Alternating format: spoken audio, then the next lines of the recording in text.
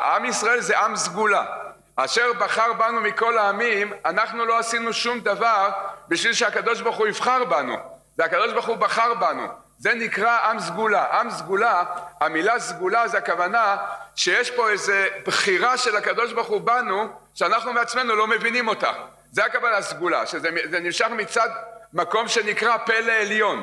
אומר אור החיים הקדוש, שהקדוש ברוך הוא אמר למשה רבנו, דבר אל בני ישראל ותגיד להם שעכשיו כדי להמתיק את הדין, שאי אפשר על ידי שום מעשה, אין שום מעשה שאתם יכולים לעשות כדי להמתיק את הדין, אלא רק דבר אחד, שיתחזקו באמונה, שיאמינו בי, שיש אצלי כאלה רחמים על עם ישראל וכזאת אהבה לעם ישראל שגם כשהם לא ראויים לה אני ממשיך את הרחמים. ואם יתחזקו באמונה כזאתי יתחזקו באמונה כזאת ויבינו וישיגו שהאהבה שלי לעם ישראל זה נקרא אהבה שאינה תלויה בדבר. לפי זה מה הכוונה אהבה שאינה תלויה בדבר? הקדוש ברוך הוא אומר לנו על פי, על פי המהלך הזה הקדוש ברוך הוא אומר לנו אני אוהב אתכם גם כשאתם לא רואים. אם אני אוהב אתכם רק כשאתם צדיקים זה נקרא אהבה שתלויה בדבר. אבל אני אוהב, אני אוהב את עם ישראל גם כשעם ישראל לא ראויים אם אומר אור החיים הקדוש ואם עם ישראל יתחזק ב, ביסוד הזה באמונה הזאת שהקדוש ברוך הוא שומר עלינו ועושה לנו ניסים גם כשאנחנו לא ראויים לזה זה עצמו תהיה המצווה והזכות להמתיק את כל הדינים מעל עם ישראל. כך אומר אור החיים הקדוש. מפה אנחנו לומדים דבר מופלא מאוד מה שאור החיים הקדוש אומר.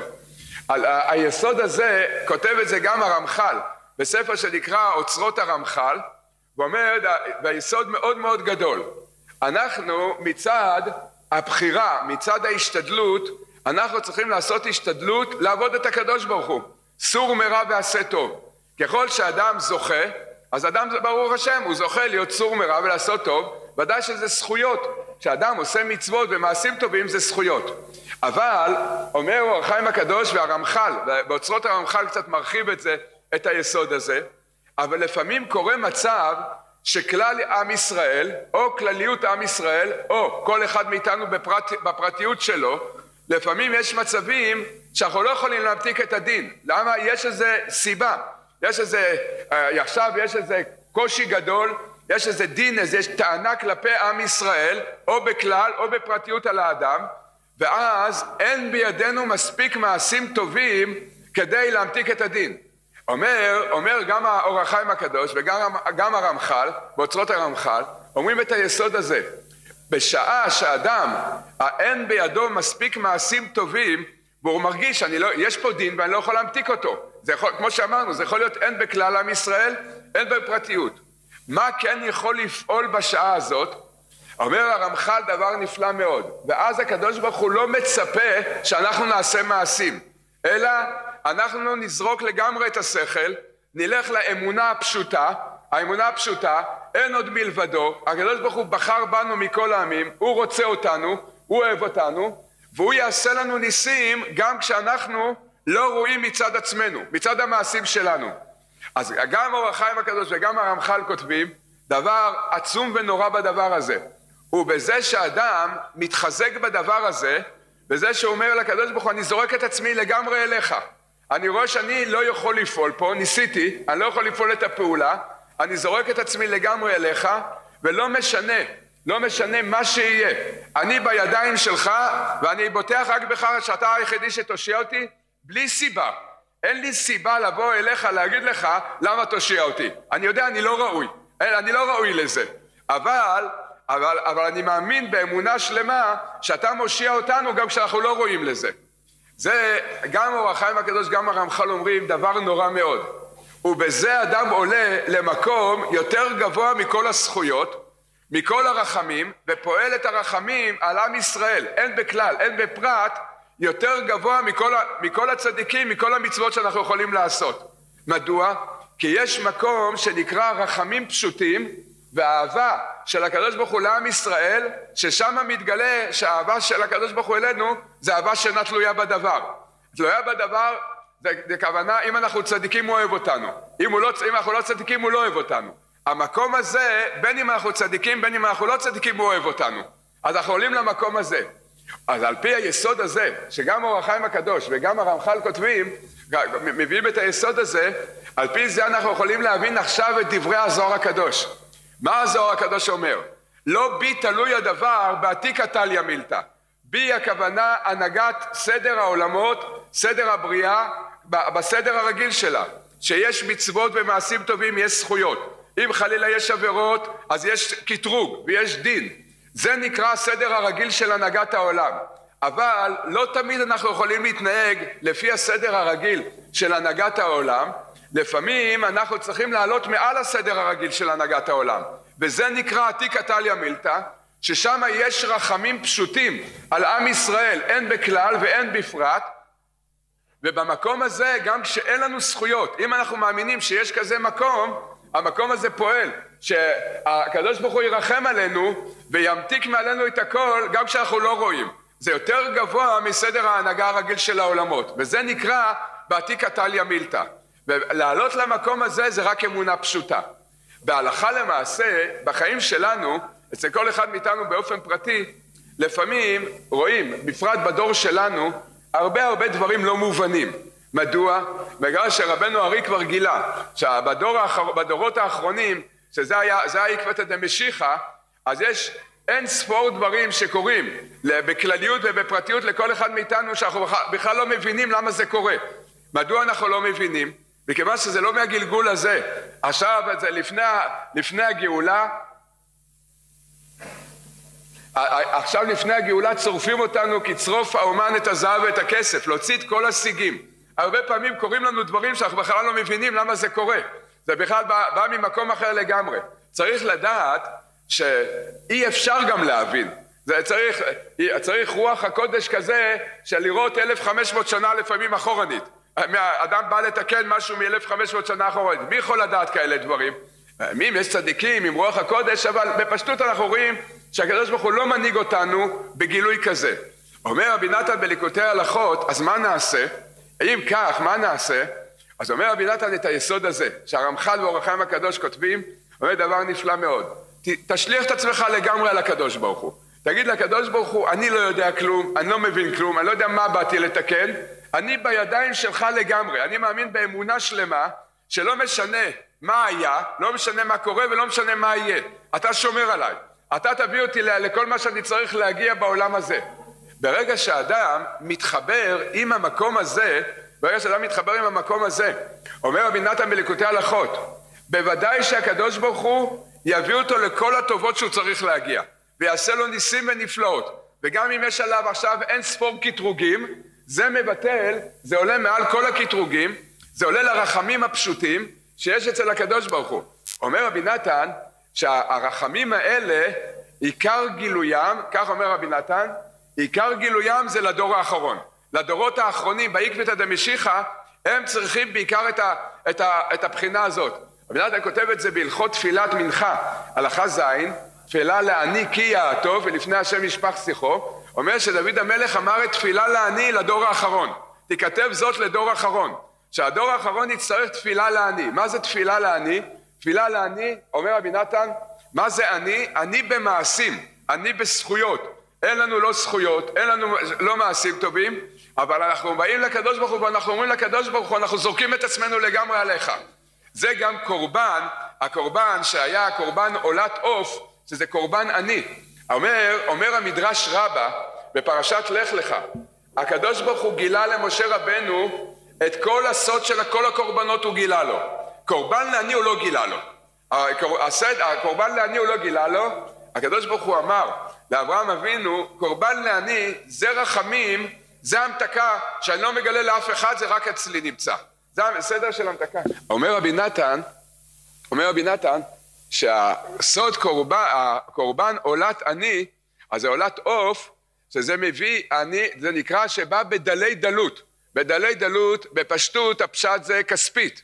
בעומק זה, זה דלי דלות רוחנית. אז יש אצל, אז הקדוש ברוך הוא אמר לאברהם אבינו, כל הקורבנות אני אגלה לך את הסוד. את, את סוד קורבן אני, אני לא מגלה לך. אני משאיר רחמים אצלי שאני לא מגלה את זה. או שואל רבי נתן, אם הקדוש ברוך הוא גילה לאברהם אבינו את כל הקורבנות, למה הוא לא גילה לו גם את הסוד של קורבן עני? אומר שם רבי נתן בהלכות תפילת מנחה הלכה ז', אומר מכיוון שהסוד של קורבן עני זה הקורבן שהקדוש ברוך הוא השאיר לדורות האחרונים, שיצטרכו את הקורבן הזה, יצטרכו את הרחמים האלה, שלא יהיה לנו זכויות, אנחנו נלך, נלך על המקום שנקרא קורבן עני, שאנחנו דלים, דלי דלות רוחנית, אבל אנחנו זורקים את עצמנו לגמרי לקדוש ברוך הוא ולרחמים של הקדוש ברוך הוא. רבי נתן אומר שעכשיו לד... לאברהם אבינו לא גילה כי הדורות של אברהם אבינו ואחר כך לא היו צריכים את זה, לצדיקים של הדור האחרון הוא גילה את זה כדי שיגלו לנו את זה, יאירו לנו את הנקודה הזאת. אז זה, זה נקרא בעתיקא טליא מילתא, שיש מקום של רחמים פשוטים שאנחנו יכולים לעלות אליהם, אל הרחמים הפשוטים, ועיקר העלייה זה לדעת, אני לא בא לקדוש ברוך הוא באיזושהי טענה שיש לי זכות, אין לי זכות, אני רק יהודי. זה הכל, אני הבן שלך ואני יהודי. זה, ואז ממשיכים את הרחמים האלה. זה המצווה, אבל כל זה זה כלול במצוות האמונה. מצוות האמונה זה פרט במצוות האמונה. נתבונן בעוד עוד נקודה במצוות האמונה. עוד נקודה אחת. ששמע ישראל כידוע מצוות קריאת שמע פעמיים ביום ביום ובלילה זה כמו שמובא הרבה מאוד בספרים הקדושים יסוד כל האמונה. מצוות הייחוד והאמונה זה קריאת שמע. בוא נתבונן קצת במצווה הזאת שלמעשה היא יסוד כל האמונה. הרבה מובא בספרים שעל ידי שאדם אומר בכוונה קריאת שמע הוא זוכה להמשיך על עצמו אור גדול של אמונה. זה מצווה שמסוגלת מאוד להאיר בנו ולחזק אותנו באמונה. בוא נתבונן קצת במצווה הזאת כדי קצת להיכנס לעומק הדבר אנחנו אומרים שמע ישראל זה פנייה אל הנשמה שלנו ולנשמות כלל ישראל לקבל עכשיו את הבחינה של שמע ישראל, קבל את השפע, את האור הזה. לאחר מכן אנחנו אומרים השם אלוקינו. המובא בגמרא ובשולחן ערוך, מה זה השם אלוקינו? אתה בעל הכוחות כולם. מה הכוונה שאנחנו אומרים שהקדוש ברוך הוא בעל הכוחות כולם? למעשה, כשאנחנו מכוונים השם אלוקינו שהוא בעל הכוחות כולם, פירוש הדבר שאנחנו מבטלים את כל הבריאה לקדוש ברוך הוא. אין שום מציאות של כוח נפרד חוץ מהקדוש ברוך הוא. בין אם זה ברוחניות בין אם זה בגשמיות. זה כל, כל כוח המלאכים זה הקדוש ברוך הוא. ראשי ממשלות זה הקדוש ברוך הוא. מחבלים זה הקדוש ברוך הוא. מחשבים זה הקדוש ברוך הוא. כל הבריאה אנחנו מבטלים למציאות השם. זה, זה המשמעות שאנחנו אומרים בעל הכוחות כולם אין שום כוח פועל בלי הכוח של הקדוש ברוך הוא. זאת אומרת שכל הבריאה זה לבוש של הקדוש ברוך הוא. זה כמו שאנחנו לא נגיד שאדם מרים את היד אף אחד לא סובר בדעתו שהשרוול החליט להרים את היד. זה ברור שהיד מרימה את השרוול. כך כל הבריאה זה לבוש של הקדוש ברוך הוא. זה הכל בעצם הקדוש ברוך הוא פועל בתוך הבריאה. זה בעל הכוחות כולם. ואז מתעוררת השאלה אם במילים השם אלוקינו ביטלנו את כל הבריאה למציאות השם מה אנחנו עכשיו צריכים להוסיף ולהגיד השם אחד אז בהשם אלוקינו כבר טמון שזה כוח אחד, רק הקדוש ברוך הוא הוא הפועל, אחד ואין בלעדו, אין שום מציאות מבלעדי, מבלעדי הקדוש ברוך הוא. אם כך, אז למה אנחנו צריכים להגיד ולהוסיף השם אחד? מה הוספנו? איזה הבנה, איזה השגה, איזה התבוננות באמונה הוספנו שאמרנו השם אחד. השם אלוקינו כבר אומר את זה, שיש כוח אחד שפועל בכל הבריאה ואין עוד מלבדו. לכן מה אנחנו צריכים להגיד? עוד להגיד עוד שהשם אחד. והשם אלוקינו זה כבר ידוע. זה רק השם נמצא. זה רק זה יש פה רק כוח אחד שפועל בכל הבריאה. אז זה צריך קצת להבין. לכן הרי אם התורה אמרה לנו להגיד השם אחד במצוות הייחוד והאמונה צריך להיות פה איזה יסוד עמוק בדברים האלה אז מה זה הנקודה הזאת של השם אחד לפני כמה שבועות מישהו שאל אותי את השאלה הזאת, הוא, הוא בא ואמר לי, תגיד, הוא למד, הוא למד טוב את העניין של קריאת שמע, אמר לי, תגיד, למה צריך להגיד השם אחד? השם אלוקינו, כבר אמרנו את הכל. אמרתי לו, תראה, אני רוצה לשאול אותך שאלה, אבל השאלה שאני שואל אותך, אני לא רוצה שתגיד לי את זה מצד השכל שלך, אלא תגיד לי גם מצד מה שהלב שלך מרגיש. אמר לי, בסדר, אני אשתדל. אמרתי לו, תראה, אתה מסתכל על החיים שלך. על כל מה שקורה לך בחיים. ואתה יודע, ברוך השם, יהודי מאמין, מתפלל, מתבודד, ברוך השם, יש לו אמונה. אמרתי לו, אתה הרי יודע שהכל הקדוש ברוך הוא עושה. עכשיו אני רוצה לשאול אותך שאלה. כל מה שקורה לך זה הכל הקדוש ברוך הוא עושה. לדעתך, אבל תגיד לי גם מה אתה מרגיש בלב, לא רק מה אתה יודע בשכל. לדעתך, כמה הקדוש ברוך הוא עושה טוב לך וכמה זה לא כל כך טוב לך. אז הוא רצה להגיד לי בהתחלה, תשמע, הכל טוב. אמרתי לו, לא, בשכל אתה אומר לי שהכל טוב, אבל אני גם שואל את הלב שלך. בלב שלך מה אתה אומר? הכל הכל הכל לטובה? אז הוא אמר לי, תראה, אני אגיד לך את האמת, את האמת, אם אני מתבונן טוב טוב, 98% זה לטובה. אבל יש איזה 2% קצת בעייתיים. אמרתי לו, מה הבעיה בשתי אחוז? הוא אמר, תראה, ברוך השם, אתה יודע, יש לי, ברוך השם, משפחה ברוכת ילדים. אני עובד קשה, משתדל גם שיהיה לי סדרי לימוד, להקפיד על שלוש תפילות ביום, ואתה יודע שאני עובד קשה. וכל חודש חסר לי 2,500 שקל לכל מה שהבית צריך. אתה יודע, אומר, אתה יודע, 2,500 שקל זה לא לנסיעות לחוץ לארץ, זה לא למותרות, לא לבילויים, זה לקיום הפשוט של המשפחה. הוא אמר לי, תראה, אני אגיד לך את האמת, ב-2,500 שקל, אם הקדוש ברוך הוא היה נותן לי אותם כל חודש, אני אגיד לך את האמת, זה היה יותר טוב. ההנהגה של הקדוש ברוך הוא הייתה יותר טובה. אז זהו, אמר לי, זה שתי אחוז, שאני באמת אומר, תראה, אני לא בא בתלונות, ברוך השם, הקדוש ברוך הוא נתן לי בית, אישה, ילדים, ברוך השם יש לי פרנסה, אני עובד, אבל 2,500 שקל שחסרים לי כל חודש, אם הוא היה שואל אותי, מתייעץ איתי איך להנהיג את העולם, אני הייתי משפר את ה-2,500 שקל. הייתי מביא לעצמי עוד 2,500 שקל, הייתי מציע לו שיביא לי עוד 2,500 שקל. ב-2,500 שקל האלה, אתה יודע כמה פעמים, איזה צער אני עובר בבית, צריך לרוץ לגמחים ולהצטמצם וכן הלאה, בדברים שאנחנו צריכים, נכנס לחובות, אתה אומר, אומר לי, תראה, העולם היה טיפ טיפה יותר מתוקן, טיפה יותר מתוקן, אם היה לי עוד 2,500 שקל. אם הקדוש ברוך הוא היה מתייעץ איתי, למצב כמוני, הייתי אומר לו שייתן לי עוד 2,500 שקל, הייתי אומר 100% הקדוש ברוך הוא בסדר. 100% בסדר, הקדוש ברוך הוא. השתי אחוז האלה, שאני אומר לך, שהקדוש ברוך הוא בסדר ב-98 אחוז, אני מדבר על 2,500 שקל. אמרתי לו, זה השם אחד. זה בדיוק השם אחד. מה זה השם אחד? האחד, זה לא בא להגיד שהקדוש ברוך הוא אחד יחיד ומיוחד. האחד בא להגיד שכל האחד, כל אחדות, כל ההנהגה של הקדוש ברוך הוא זה רק תכלית אחת ודרך אחת, שמה?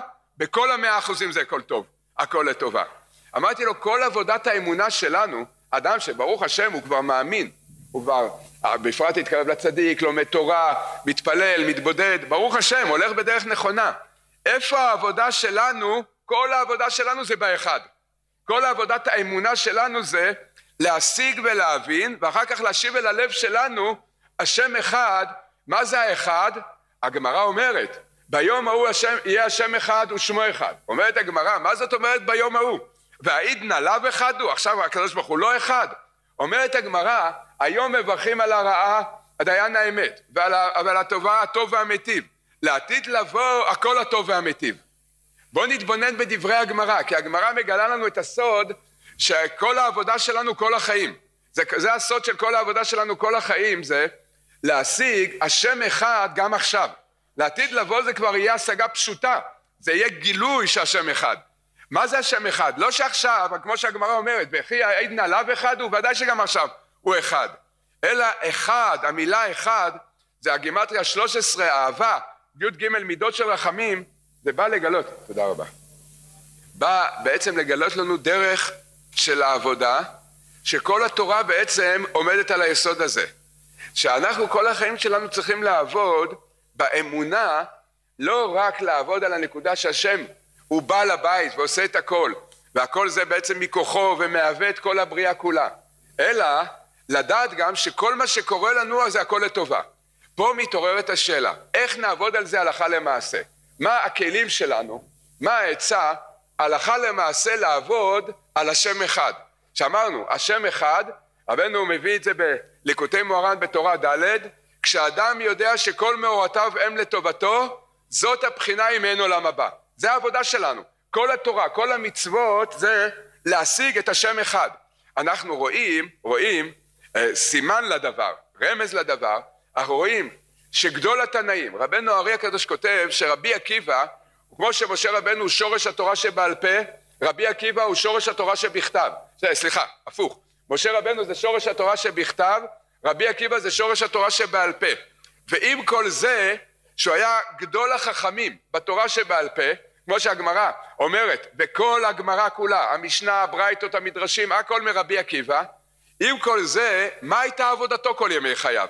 כמו שהגמרא אומרת, והכל, כל מאן דאביד רחמנא לטב אביד. גדול החכמים בתורה שבעל פה, זה היה יסוד של כל העבודה שלו, כל החיים שלו. כל מאן דאביד רחמנא לטב אביד. אז זהו, רואים, מפה לומדים עד כמה זה בעצם יסוד כל התורה וכל האמונה.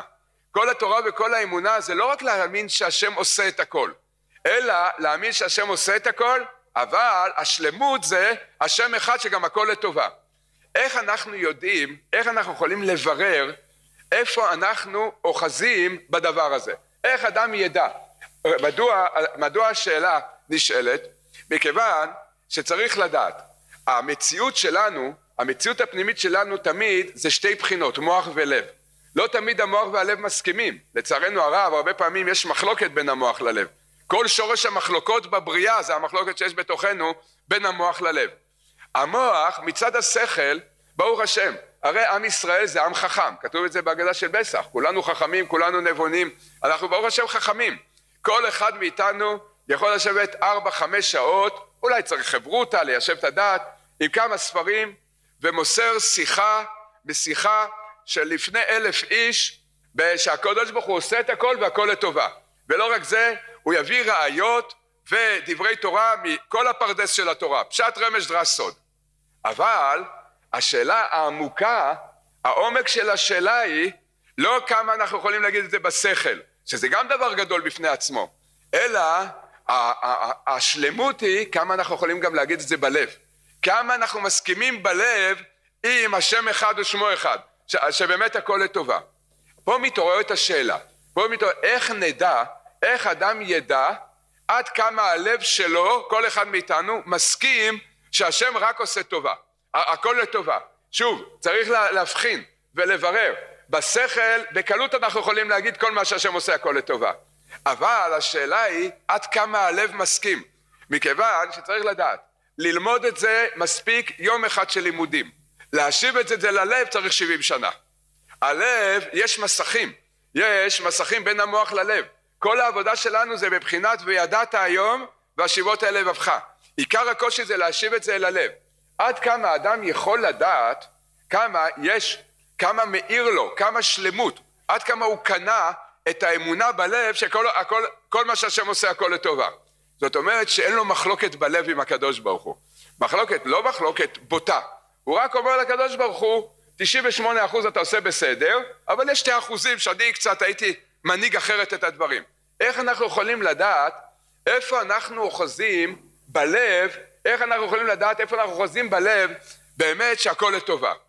אומר רבי צדוק הכהן מלובלין, אומר יסוד נפלא מאוד בדבר הזה. בעצם זה מידה אחת, אבל כל מידה מתחלקת לשתיים, על פי הסוד. יש מטבע אחת, למטבע יש שתי צדדים. כך גם במידות יש שני צדדים.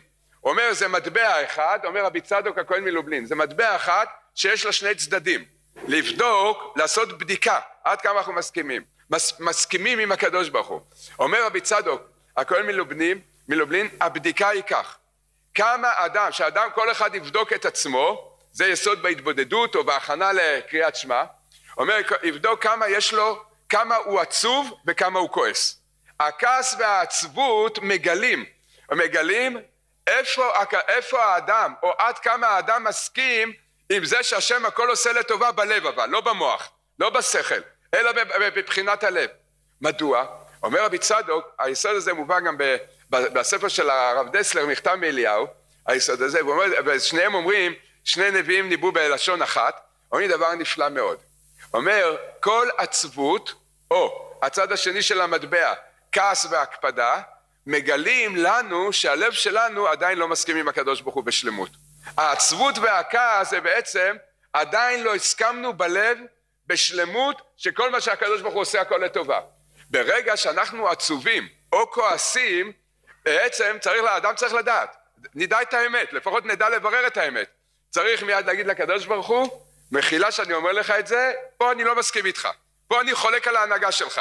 עצבות מגלה שאני הייתי עושה את הדברים אחרת, לא כמו שהקדוש ברוך הוא חושב שצריך לעשות. כעס והקפדה אותו דבר. לכן העבודה שלנו זה, העבודה שלנו זה לעבוד במצוות האמונה, זה לעבוד על שתי המידות האלה. זה לעבוד על שתי המצוות האלה, לראות איך אנחנו זוכים לתקן בתוכנו את העצבות ואת הכעס. עצבות וכעס זה פגם האמונה, זה פגם בשם אחד. איך אנחנו עובדים על הנקודה הזאת? איך אנחנו מצליחים לברר בתוכנו ולהוציא את זה מתוכנו, לעקור את זה, שנזכה באמת להיות בשם אחד, כלולים בשם אחד. אז דבר ראשון צריך לדעת, דבר ראשון צריך לדעת שהמצווה של קריאת שמע מאוד מאוד מסוגלת לדבר הזה, לכן טוב מאוד אחרי שאדם אומר שמע ישראל השם אלוקינו השם אחד, אחרי שהוא אומר השם אחד, לכוון בדעתו. מה הכוונה השם אחד? השם כל מה שאתה עושה הכל לטובה. לכוון את הכוונה הזאת. מכיוון שזה מצווה מהתורה, מכל מצווה מהתורה זה צינור ושפע, ואז זה משפיע עלינו את ההשפעה הזאת לתוכנו, לדעת שבאמת הכל השם עושה לטובה. בברוך שם כבוד מלכותו לעולם ועד, מה שכתוב בספרים הקדושים, שזה נקרא סוד האיחוד התתה, מה זה נקרא איחוד התתה? מה זה איחוד העילה, איחוד התתה? איחוד העילה זה להשיג בשכל, איחוד התתה זה להשיב את זה ללב. לכן לכוון, ברור שם כבוד מלכותו לעולם ועד, אנחנו מכוונים להמשיך אל הלב שלנו את אחדות השם, לדעת שהשם הכל עושה לטובה. לכן הקדוש ברוך הוא אומר לנו כל יום, כל יום יש לך ניסיונות חדשים, כל יום יש לך ניסיונות חדשים לדעת אם אני עושה איתך לטובה או לא לטובה. אדם קם בבוקר, הוא לא יודע מה הולך להיות היום. נפלה פתקה לידיים של כולנו. אדם אומר, מודה אני לפניך, נפקה לו פתקה, מה הולך להיות איתו היום? הקדוש ברוך הוא אומר, לפני, ש, לפני שתתחיל את היום, לך תגיד שמע ישראל השם אלוקינו השם אחד. למה? שתדע שכל המאורעות שלך היום, הכל לטובה. זה, זה נותן כוח לאדם להמשיך אור של שמחה ושל אמונה בכל מה שעובר עליו כל יום. לכן צריך להגיד את זה גם ביום וגם בלילה. למה? כי הפתקה של הבוקר היא רק ליום. איך שאדם, איך ששוקעת החמה נופלת פתקה חדשה, מה הולך להיות כל הלילה? מי יודע מה הולך להיות כל יום ומה הולך להיות כל לילה? אומר, אומרת לנו התורה, תגיד שמע ישראל השם אחד, השם אלוקינו השם אחד, שתוכל להעיר בתוכך שכל מה שהקדוש ברוך הוא עושה הכל לטובה. לכן מצוות קריאת שמע זה כוח מאוד מאוד גדול להעלות אותנו ולחבר אותנו עם, עם הבחינה הזאת שנדע שכל מה שהשם עושה הכל לטובה. זה, נקוד, זה יסוד אחד, זה מהלך אחד, עצה אחת. אבל יש עוד כמה עצות בדבר הזה, יש עוד כמה עצות בדבר הזה. עצם העובדה שאנחנו לומדים, לומדים דרכים, עניינים באמונה, ועושים שיחת חברים מזה, זה מאוד מאוד מחזק בתוכנו את האמונה. רבנו, אחד הדברים שהוא גילה והוריד לעולם, זה השיחות חברים. שיחות חברים. ורבנו אמר לרבי נתן, כשאתה מגיע לעניינים של אמונה ושל הצדיק, אל, ת, אל תמעט בכתיבה. כל המרבה. רבנו אמר לרבי נתן, תכתוב על זה הרבה. רבנו אמר, אמונה אצל העולם זה דבר קטן, אבל אצלי זה דבר מאוד גדול.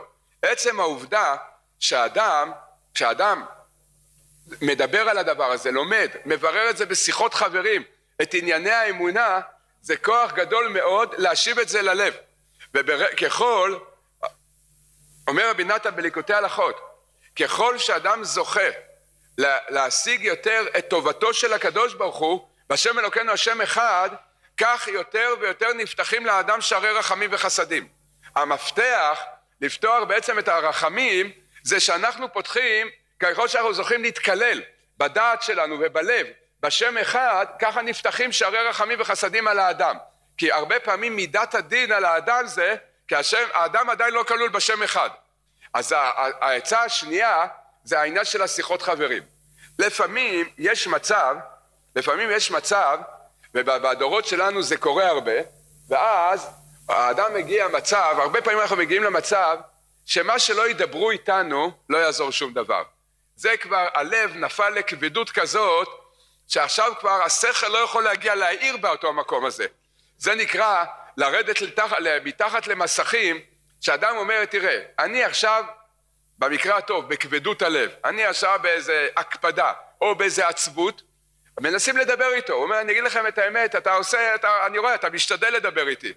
לא מתקבל אצלי שום דבר. נפלתי למסך כזה, הדיבורים כבר לא עוזרים לי. יש גם כאלה מצבים, לפעמים אנחנו מגיעים גם למצבים כאלה. בפרט בעקבתא דמשיחא, לפני, לפני הגאולה, אנחנו מגיעים הרבה, הרבה פעמים למצבים האלה. זה חלק מבירור הגאולה, זה המצבים האלה שאדם נופל למטה למטה. כתוב, כתוב שכל ההנהגה, כל סדר ההנהגה שהקדוש ברוך הוא מנהיג אותנו, הכל נרמז בסוד האותיות. מדוע? כל, כל מציאות בבריאה יש לה שורש באותיות של הקדוש ברוך הוא, באותיות של, ה, של הלשון שלנו, של השפה שלנו. מדוע? בגלל שחז"ל שואלים שאלה, חז"ל שואלים שאלה, איך הקדוש ברוך הוא ברא את הבריאה? איך הוא ברא את העולם? הוא ברא, איך הוא ברא אותו? לקח פטיש, מסמר, מה, איך הוא ברא אותו? התורה אומרת לנו, דיבר, הקדוש ברוך הוא דיבר, ויאמר אלוקים יהי אור, ויהי אור, ויאמר אלוקים יהי רקיע, ויהי רקיע. הקדוש ברוך הוא דיבר ונהיה. שואלים חז"ל שאלה, באיזה שפה הוא דיבר? אם הוא דיבר, אז הוא דיבר באיזה לשון, באיזה, באיזה שפה הוא דיבר? ודאי שהתשובה היא בלשון הקודש, בשפה שלנו הוא דיבר. כל הבריאה נבראה בלשון הקודש. לכן אומר רבנו הארי הקדוש שמכיוון שכל הבריאה נבראה בלשון הקודש אין לך שום פרט בבריאה שאין לו שורש או במילה או באותיות. הכל מעוגן באותיות ובמילים. יש, כל מצב רוחני יש לו שורש באותיות. המצב הזה שאנחנו יורדים לתוך המציאות של כבדות הלב, של אה, אנחנו כבר, השכל כבר לא פועל במקום הזה. יש מצב, כמו שאנחנו מכירים את זה, יכולים להגיד לנו את התורות הכי יפות בעולם. לא מצליחים להוציא אותנו מהמקום הזה. היום אנחנו יכולים לראות את זה שזה קורה הרבה. מועקות נפשיות היום קורים, קורה הרבה. סיפרו לי שניים, אחד אה, פסיכ... פסיכיאטר ידוע חרדי ועוד אה, יהודי שמתעסק הרבה בתחום של הרפואת נפש ואמרו לי דבר מאוד מפתיע, אני לא יודע, אותי זה הפתיע כשהם אמרו לי את זה 80 אחוז במדינת ישראל משתמשים בתרופות הרגעה למיניהם הכוונה, למיניהם הכוונה טבעי, הומופתי, כימי 80 אחוז למה 80, למה משתמשים בתרופות הרגעה כל כך הרבה? קשה לנשמות היום לסבול את מה שעובר האדם עובר כל כך הרבה דברים, קשה לסבול את זה. זה בתוך הנפש, זה כל מה שעובר. אז המציאות הזאת, המציאות הזאתי, זה ירידה למקום שכבר לא עוזר גם שמדברים עם הבן אדם. אז אם כך, זה לא עוזר, מה עושים?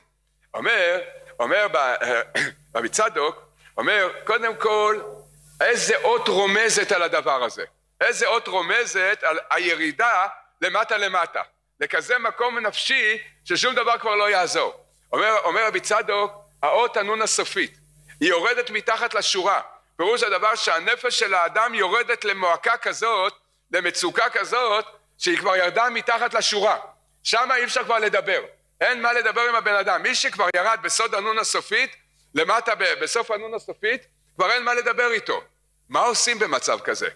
מה, מה העצה למצב הזה?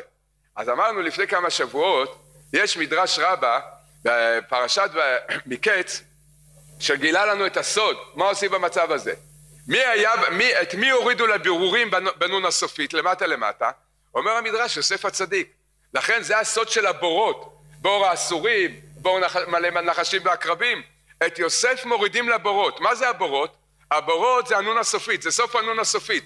שמה בסוף הנון הסופית שמה זה המועקות הכי גדולות. יוסף הצדיק היה 12 שנה בבית האסורים. כתוב בזוהר הקדוש, ויריצו מן הבור, הריצו אותו, פייסו אותו, ריצו אותו מצערו הגדול שהוא היה. אנחנו חושבים שזה היה פשוט להיות 12 שנה בבית אסורים, זה, קוראים את זה בתורה, בשתי דקות אנחנו קוראים את הפסוקים האלה. אבל יוסף הצדיק היה 12 שנה בבית האסורים. אומר המדרש, מה עשה יוסף כדי לא ליפול בעצבות ובכעס ובהקפדה. בפשט יש לו את כל הסיבות שבעולם. אין להיות עצוב ואין לכעוס. אבל יוסף לא נופל שמה. איך יוסף לא נפל? אומר מדרש רבה יוסף היה איש כפוז. מה זה איש כפוז? מפזז ומקרקר. זה העצה השלישית. כשאדם נופל בנון הסופי צריך ללמוד מיוסף הצדיק. יוסף היה עובד בבית האסורים, היה עובד. אחרי עשר שעות עבודה הוא רצה ללכת לנוח, היה נכנס למיטה, איך שהוא נכנס למיטה בא היצר הרע ואומר לו יוסף תהיה עצוב, יש לך את כל הסיבות המוצדקות בעולם להיות עצוב, כולם בגדו בך, או תכעס עליהם, תקפיד עליהם. יוסף לא מתעצל, מה הוא עושה יוסף? קם מהמיטה ומתחיל לרקוד.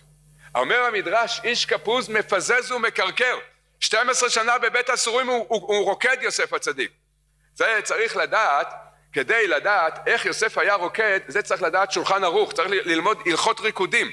אתם יודעים שיש הלכות ריקודים.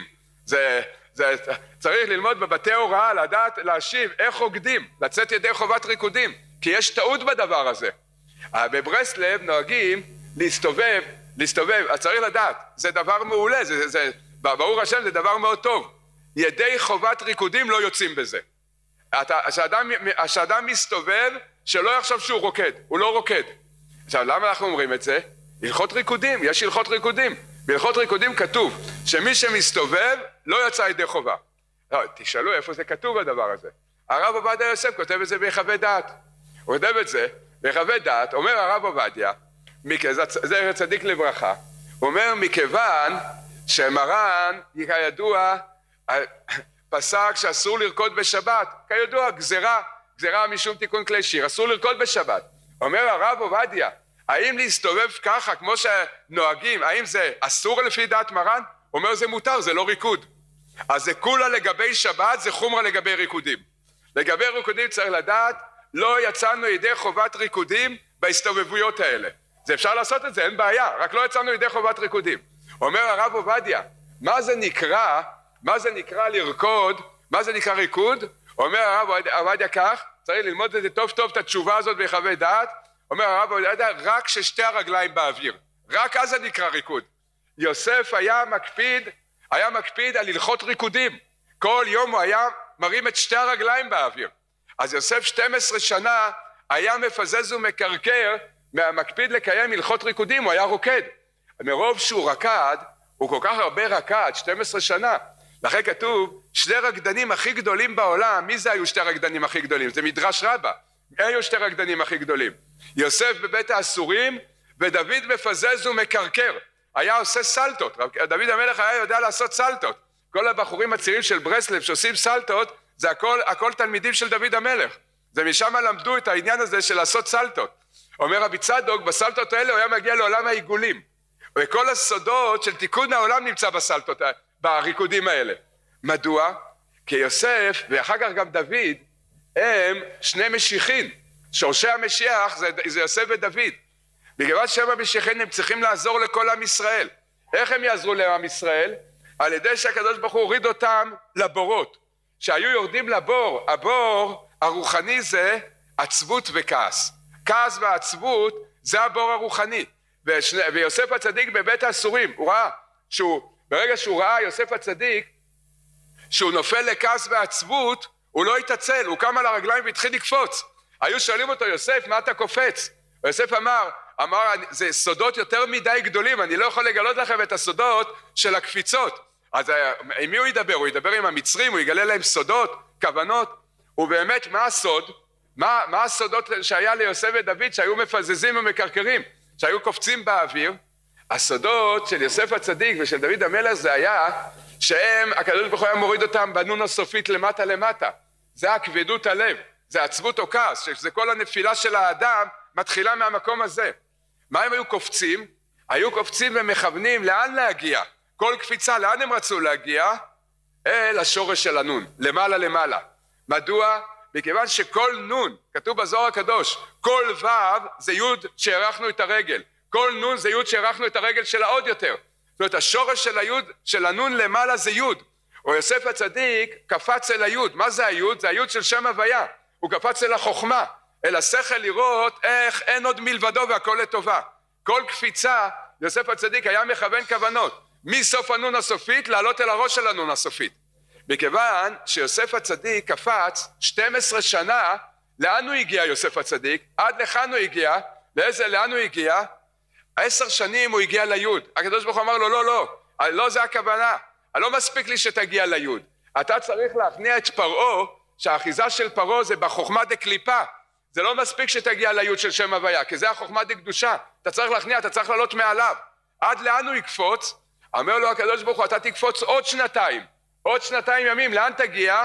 מקץ שנתיים ימים ופרעה חולה, מקץ זה מקוץ, הוא הגיע לקוץ של האות י'. וזה נקרא כבר בחינת עולם הכתר. מה זה עולם הכתר? עולם הכתר זה לקנות בשלמות כזאת שמחה ואמונה בקדוש ברוך הוא שאין עוד מלבדו זה כל רגע ורגע להיות בבחינת בן זקונים. מה זה בן זקונים? מצד זה, הקבצן העיוור בסיפורי מעשיות. מצד אחד הוא בן צעיר מצד אחד הוא הזקן הכי גדול בעולם. הוא, הוא משלב את החיות של ילד קטן עם החוכמה של הזקן הכי גדול בעולם. הבן זקונים זה רק צדיק שעבר כל כך הרבה את הנון הסופית וקפץ עד לראש הנון עד שהגיע לסוד מקץ שנתיים ימים. לקוץ של האות י' ברגע שהוא הגיע לקוץ של האות י' הוא הכניע את כל קליפת מצרים. מדוע? כי רבנו אומר שכל צדיק שנלחם כנגד כוח בקליפה צריך להיות יותר גבוה מהאחיזה של, הצ... של הקליפה. כל רשע יש לו אחיזה. זה כתוב בזוהר הקדוש בזוהר פרשת בו של השבוע לכל ופרעה הייתה לו אחיזה במקום מאוד מאוד גבוה כי הוא ניצב על היאור. הוא יונק את כל הכוח שלו מסוד היאור. היאור זה אור י' הוא הגיע מצד הטומאה הוא הגיע עד לחוכמה הכי גבוהה בקליפה. יוסף צריך להכניע אותו. כדי שיוסף יוכל להכניע אותו יוסף צריך להגיע לקוץ של האות י' ולכן הוא היה צריך עוד שנתיים ימים. אם דיברת דיבור אחד אתה עושה איזו השתדלות בעולם הזה לצאת מבית האסורים עוד לא הגעת לקוץ תחכה עוד שנתיים ימים תגיע לקוץ. אז יוסף עוד שנתיים ימים קפץ מסוף הנון הסופית הוא קפץ עד למעלה ליוד. הלכה למעשה זה זה נקרא סוד הקפיצות. צריך לדעת לפעמים מה שיגידו איתנו מה שידברו איתנו לא יעזור שום דבר. נפלנו לכעס או הקפדה נפלנו ל... נפלנו לעצבות או לכבדות הלב באותו רגע שאדם רואה שנפל לשם לא יחכה שנייה יתחיל לקפוץ. בקפיצה לכוון עכשיו אני בסוף הנון הסופית אני קופץ עד לראש הנון אני קופץ עד לקוד של האות י' אני הרי אני מקשר את עצמי עם יוסף הצדיק בריקודים עם דוד המלך עם רבי נחמן מברסלב ואז אני קופץ עד לאות י' וזה שיוסף מרוב הקפיצות הגיע לכזה מקום גבוה זה כל המלחמה זה רואים דבר נפלא מאוד בדבר הזה. עיקר הקדושה עיקר מה שיוסף קנה את כל המדרגות שזכה להיות בחינת משיח, בחינת בכורה, את המרכבה ליסוד של עולם האצילות, עיקר עיקר העבודה שלו הייתה, של יוסף הצדיק זה היה כעס ועצבות. והוא צדיק יסוד עולם. לכאורה, תמיד מציינים שיוסף, הרי זה מידת היסוד, זה עניין הקדושה. אבל אם נתבונן במעשה של יוסף, בסיפור של יוסף הצדיק, כמה זמן היה לו ניסיון בענייני הקדושה? ניסיונות עצומים ונוראים, אבל כמה זמן היה לו? שנה אחת. בעניינים של אמונה כמה זמן היה לו? 12 שנה. לכן הוא היה צריך פי 12 לעבוד על עצבות. אבל אי אפשר להגיע, אומר רבי נתן בליקוטי הלכות, אדם לא יכול להגיע לעבודה של אמונה, ועבודה של אמונה זה, אנחנו רואים מה, הזה דבר נפלא מאוד.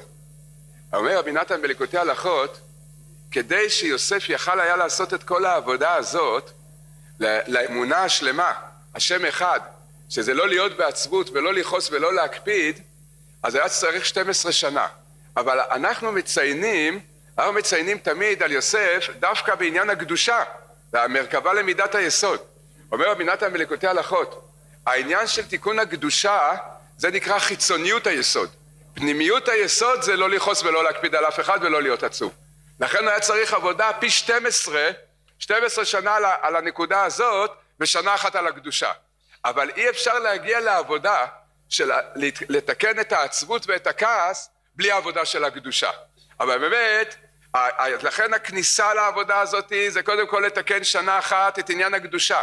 אחר כך 12 שנה הוא צריך לקפוץ בבית האסורים כדי להגיע לקוץ של היוד. עכשיו, בסוד המקץ שנתיים ימים, הגיע לקוץ, ואז רואים שיוסף, מה זה נותן? שהאדם זוכה לתקן בתוכו מצד אחד את העצבות, אין לו עצבות על שום דבר, אין לו כעס על שום דבר, הוא לא מקפיד על שום דבר שבעולם, אומר, הרבה כתוב בספרים הקדושים, יוסף יכול לשלוט על כל העולם. הוא משביר לכל עם הארץ, כתוב בתיקוני הזוהר, בתיקון עין, כל העולמות הרוחניים, העולמות של המלאכים, מקבלים מנשמת יוסף כל העולמות התחתונים מקבלים מנשמת יוסף. איך יוסף זכה להשיג את כל המעלה הזאתי שהוא משפיע לכל הבריאה, הן הרוחנית והן הגשמית, דבר פיל, זה דבר נפלא מאוד. איך יוסף זכה לזה? הוא תיקן את העצבות ותיקן את הכעס ואת ההקפדה. הוא הגיע לכל המדרגה הזאתי רק מתיקון, ה... רק משתי המידות האלה, מתיקון שתי המידות האלה. אז זה, אז רק נסכם בקצרה, מה שאמרנו, שכל ה... היסוד של עבודת האמונה זה השם אחד, ואחדות השם זה לא להאמין רק שהשם הוא אחד יחיד ומיוחד, אלא גם כל מה שהוא עושה זה הכל לטובה, זה האחדות השלמה של האמונה בקדוש ברוך הוא, וזה על ידי שלוש בחינות. אחד זה מצוות קריאת שמע, מה שאמרנו, אחד זה השיחות והדיבורים של אמונה שאנחנו מתחזקים אחד עם השני, והדבר השלישי שנופלים בסוד הנון הסופית, שהלב נופל לכאלה כבדויות ולא עוזר שום דבר. זה המקום שכבר אי אפשר, אי אפשר כבר שמה לדבר שום דבר, אז, אז העצה זה הקפיצות של יוסף הצדיק. קופצים מסוף הנון עד ראש הנון. ואם אדם קופץ הרבה, מי שיש לו הרבה עצבות וכעס, הוא צריך לקפוץ הרבה. אז אדרבה, זה היה ליוסף, הוא קפץ כל כך הרבה, עד שכתוב שהוא היה אלוף העולם בקפיצה לגובה.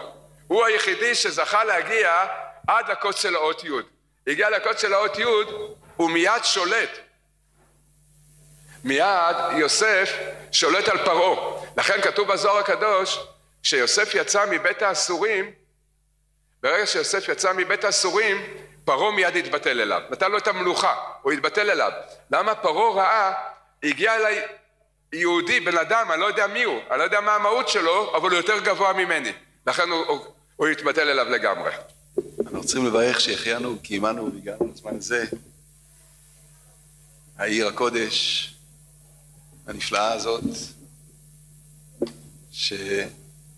שבדיוק השבוע, לא השבוע, אבל החודש, זה היה כ"ז שבט, זכינו לפני 33 שנה לקבל כאן את ראשות המועצה. השתבח שמו ברי עולם, זו הייתה מתנה גדולה מאוד. אחרי כל המשבר, אחרי כל מה שעבר פה. והנה ראינו שעמנואל נעשתה עיר ואם בישראל, כמו שהבטיחו, כמו ששרנו עיר ואם בישראל. כל המושג הזה, לבוא ולבנות עיר חרדית על טהרת הקודש. זכיתי, ברוך השם, ש... כל אחד עשר ילדיי, בסייעתא דשמיא, בחסד חינם, מאוצר מתנת חינם, לא מכוחי ולא מעוצם ידי, כולם שומרי שבת, ברוך השם, וכולם יש זקן ופאות, ברוך השם. כששואלים אותי למה, אני אומר זה בגלל עמנואל. גדלנו פה בחממה כזאת נפלאה, בכזה תמימות של שילוב התורה ומצוות ביחד עם יישוב ארץ ישראל. שקולה מצוות יישוב ארץ ישראל. כמו כל התורה כולה, כמו קיום כל התורה כולה, אסור לשכוח את זה. למרות שאנחנו חרדים ואנחנו ברוך השם שייכים לפלג החרדי של עם ישראל, אנחנו, אה, אסור לנו לשכוח שזכינו פה לבוא אל הר טרשים קרח ולבנות עיר וברוך השם עיר ש... שאנשים פה ברוך השם שומרים תורה ומצוות איתה, זה דבר גדול מאוד, מאוד מאוד, ועוד בדקדוק, או לפי כל כללי ההלכה. סליחה? לא שומעים? אולי, אולי, אולי אפשר בכלל בלי זה. אולי אפשר בלי זה, מה אתם אומרים? אה, אי אפשר? אי אפשר בלי זה. אז מה נעשה? לא, לא, זה יותר, זה יותר מדי, אנחנו החשנו אותה.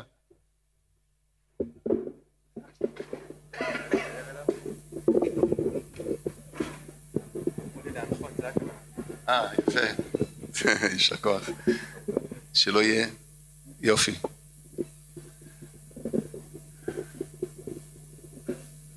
אז צריך לברך, אחד הסיבות שצריך לברך שהחיינו פה, שהחיינו עצום ונורא, שאני רואה פה הרבה פנים מוכרות, שלא ראיתי אותם הרבה שנים, חברים יקרים, אנשים טובים, אז אני מברך להם שהחיינו גם כן. ובכלל לבוא לפה ולארח את אה, מורי ורבי, השם יצרהו ויחייהו, בעיר במקום הזה, ולהזכיר ולהיזכר איך שהוא היה בא לכאן בזמנים הקשים ביותר, והיה נותן שיעור אצל משה זר. אחר כך מגיע לפה אצל, הוא נותן שיעור בבית של רבי אליהו ששון. הוא פה? הוא עדיין בעמנואל? הרב אליהו ששון? השם ישמור אותו, כן, כן. הנה, אני רואה את הפנים של הבן, תראה את הדבר. השתבח איפה, איפה רבי אליהו נמצא? הוא יבוא עוד מעט. הרב ששון, השם ישמור אותו. כן, בדיוק.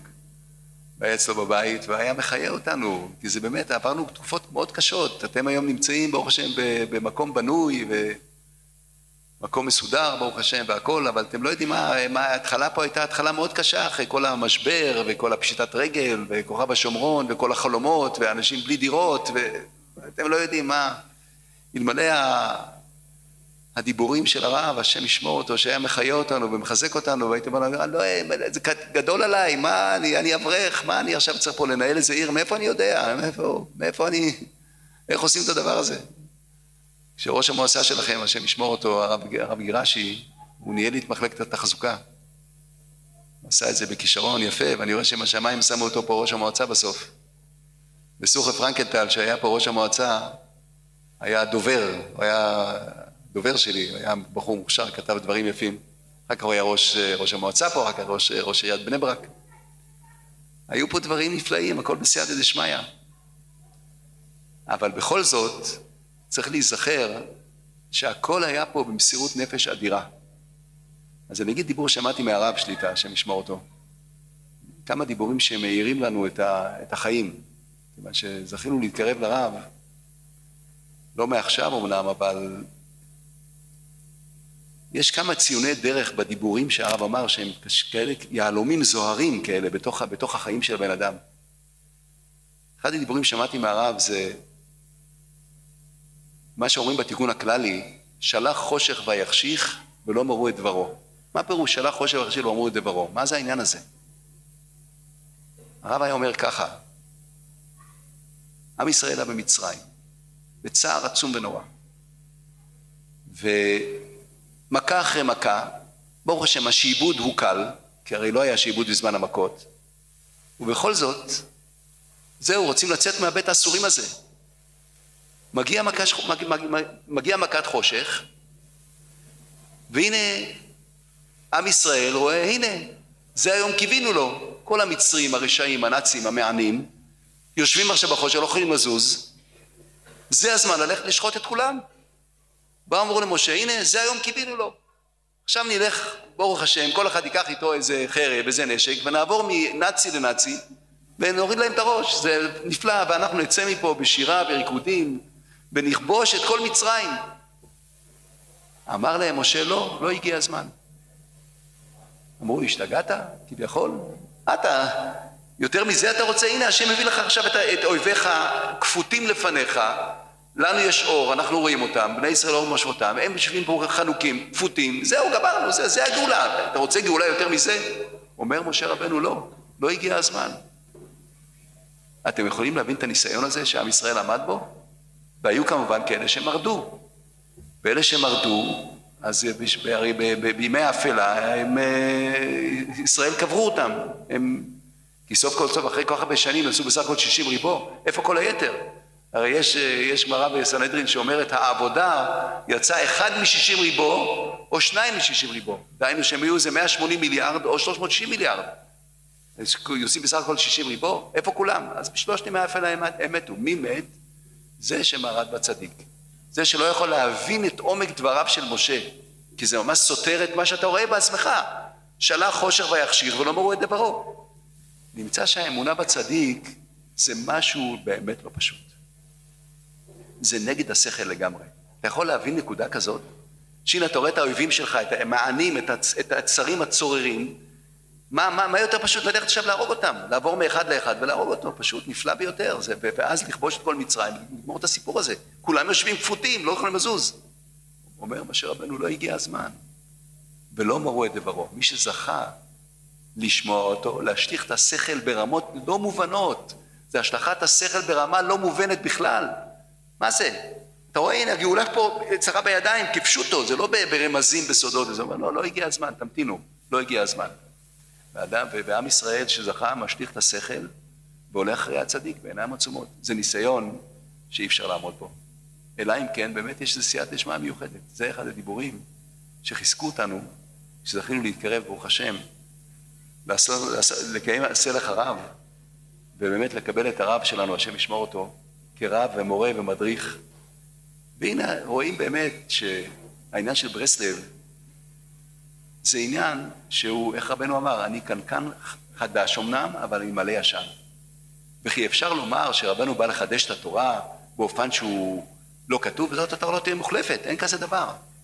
בברסלב לא באו לחדש את העניין שאין רב, יש לנו את רבנו וזהו. אין כזה דבר. יש הלכות בשולחן ערוך, הלכות כבוד רבו והלכות תלמיד חכם. התורה מדור דור, יש רבנים בכל דור ודור, אין כזה דבר. אדם חייב לקיים, לא עשה לך רב, זה פשוט. מה, בגלל שאני הייתי עכשיו ברסלב, גמרנו, אין לי רב? אני עכשיו אה, נוסע לרבנו, ברוך השם, אשרי מי שזוכה, פעם בשנה, פעמיים בשנה, עשרים פעם בשנה, וזהו, ואני הולך בלי שום הדרכה, בלי שום כיוון, מה זה הדבר הזה? איפה שמענו כזה דבר? עשה לך רב זה יסוד ביהדות, אין כזה דבר. פעם הרב אמר, מצבנו בברסלב, לפני כמה שנים, זה היה אומר, יותר גרועים מאשר בגור, או בכל חסידות אחרת, שם יש להם את הרבי, יש להם את המדריכים, הכל מסודר, מה, מה זאת אומרת, אדם עושה מה, מה שבא לו? הוא הולך, עושה שעה התבודדות בשדה, ומגיע עם איזה השגה, ואומר, בסדר, היום מאיר לי ככה, מחר מאיר לי ככה. זה, זה מה שרבנו התכוון חס וחלילה. רבנו קודש קודשים, יחיד יחידי הדורות, רבנו נחמן מברסלב, שהוא אומר, האש שלי תוקד בביאת המשיח. הוא התכוון שהאיש הישר בעיניו יעשה. אפשר שיהיה דבר כזה שאדם אין רב בכלל? יש, יש מושג כזה בכלל? אז מי שזכה להבין את זה, זכה להבין את זה. יש בזה עומק על עומק על עומק. לחפש את דעת רבנו בעולם, לחפש רבי אליהו. בוא, בוא נברך שהחיינו עליך, בוא. בוא נברך עליך שהחיינו. לא ראינו אותך שנים. של הולכת. השם ישמור אותך. הרגע הזכרתי אותך, רבי אליהו. ידידי הטוב, ש... שבאמת בצעדיי הראשונים תמך ועזר, ואני בסך הייתי אברך, אברך כולל, מה, רוצים להיות שיהיה ראש מועצה. היינו צריכים כמה חברים טובים שיעזרו. אז רבי אליהו אחד מהם, ואני ממש מודה לו על כך. נחזור לענייננו. כי חשבנו שהעניין של ברסלב זה עניין כזה שאדם, האיש, הישר בעיניו יעשה, חס וחלילה, אין כזה דבר. אז, אז, אז אשרי ראיתי, ברוך השם, בכמעט 40 שנה שאני בברסלב, ברוך השם, זכינו, ברוך השם, זה, זה מדי חזק אני חושב. ככה, ככה אתם שומעים אותי יותר טוב? באמת? נשמע לי, נשמע לי ממש... שלום עליכם. טוב, ככה זה נשמע יותר טוב. נשמע לי פה איזה משהו, איזה תותחים. צריך לדבר פה בשיא השקט בשביל שזה יישמע... ככה אתם שומעים אותי באמת? אני אשמע בלה בלה בלה בלה כזה? טוב, מדהים.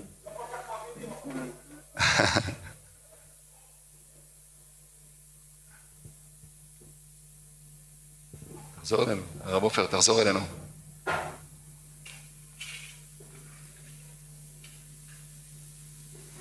אז זכינו לראות במשך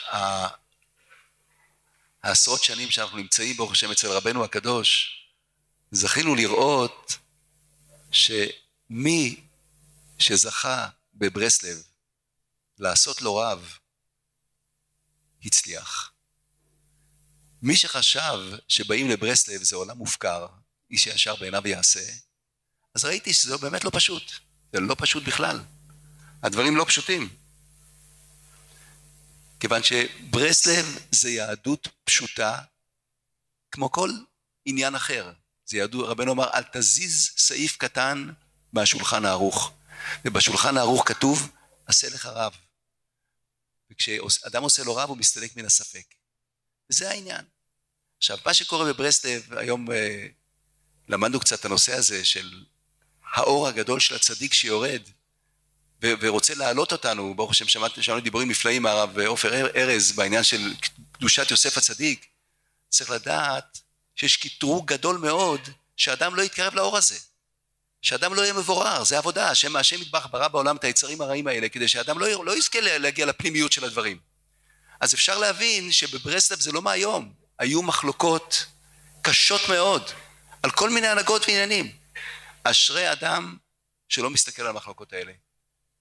אשרי אדם שמחפש איך להתקרב לרבנו הקדוש. חיפשתי, אני, אני אישית, בברסלב, חיפשתי מורה ומדריך. וברוך יש, יש כמה וכמה כאלה, כולם אהובים, כולם ברורים, כולם גיבורים, אנשים יראי השם, אחד אחד, אין לנו שום טענה על אף אחד, אדרבה ואדרבה, כן ירבו, שיהיו משפיעים, ושכל העולם יתמלא ממשפיעים מברסלב. אבל לחפש את נקודת האמת, כמו שרבי נתן מביא בהלכות שלוחין, שבכל דור ודור יש אחד או כמה שיש להם את דעת רבנו באמת, למצוא, למצוא אותם צריך סייעתא דשמיא, צריך הרבה תפילה והרבה סייעתא דשמיא למצוא, או, הרב משה, אז במסגרת חיפושנו אחרי מי שיכול לתת לנו, לצמצם לנו את האור של רבנו, הרי רבנו אומר שצריך לצמצם את האור, לא, לחלק אלפים למאות, מאות לעשרות ועשרות ליחידות.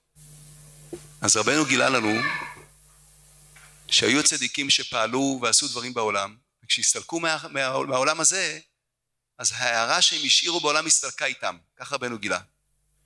ורבנו אומר, אני הולך לעשות דבר שיישאר עד סוף כל הדורות. אני הולך לעשות דבר שאחרי שאסתלק, כמו שרבנו העיד על עצמו, אחרי שאני אסתלק למעלה, ההשערה שלי תישאר לעד ולנצח נצחים.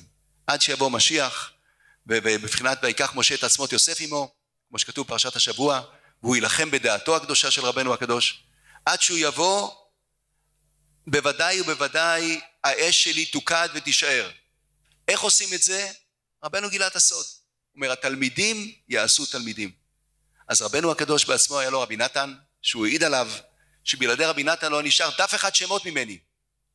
וכולם יודעים, הוא, הוא הרב, הוא התלמיד. הוא הרב, הוא התלמיד. אבל וכי יעלה על הדעת שהשעה של רבי נתן נגמרה, זהו, רבי נתן הסתלק, גמרנו, העניין של ברסלב נגמר חס ושלום.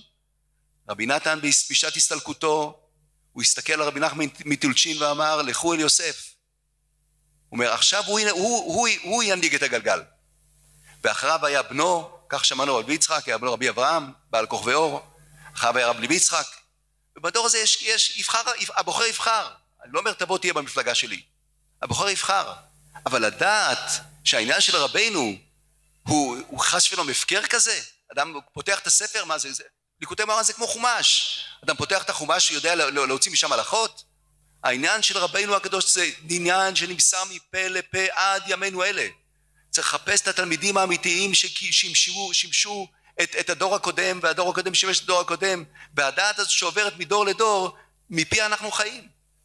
אדם צריך לחפש לו את מי שקיבל ואת מעתיקי השמועה האמיתיים. זכינו, ברוך השם, אני מודה לשם יתברך באין ספור הודעות שזכינו למצוא את הרב.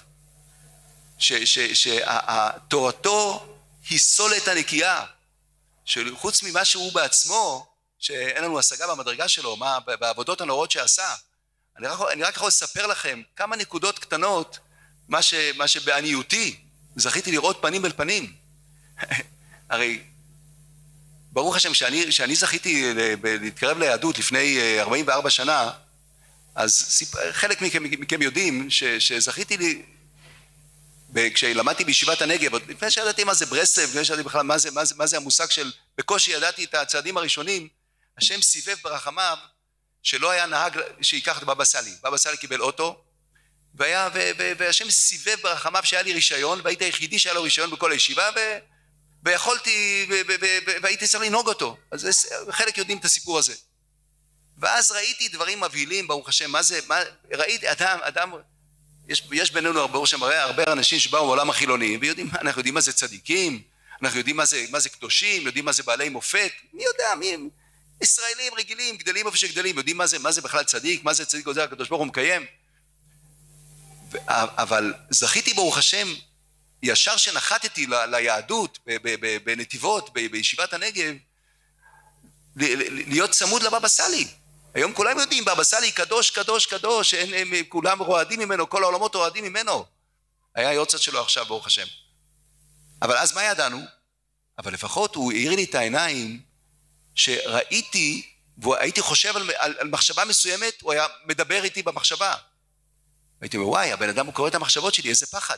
הייתי נוהג לידו, בקושי ידעתי איזה משהו תורה, אבל נזהרתי מאוד במחשבה, אמרתי, הבן אדם, פחד פחדים, מה אני יודע מה זה בבא סאלי? אני בסך הכל אתמול, אתמול הייתי באיפה שהייתי, בקיבוץ, מה אני יודע?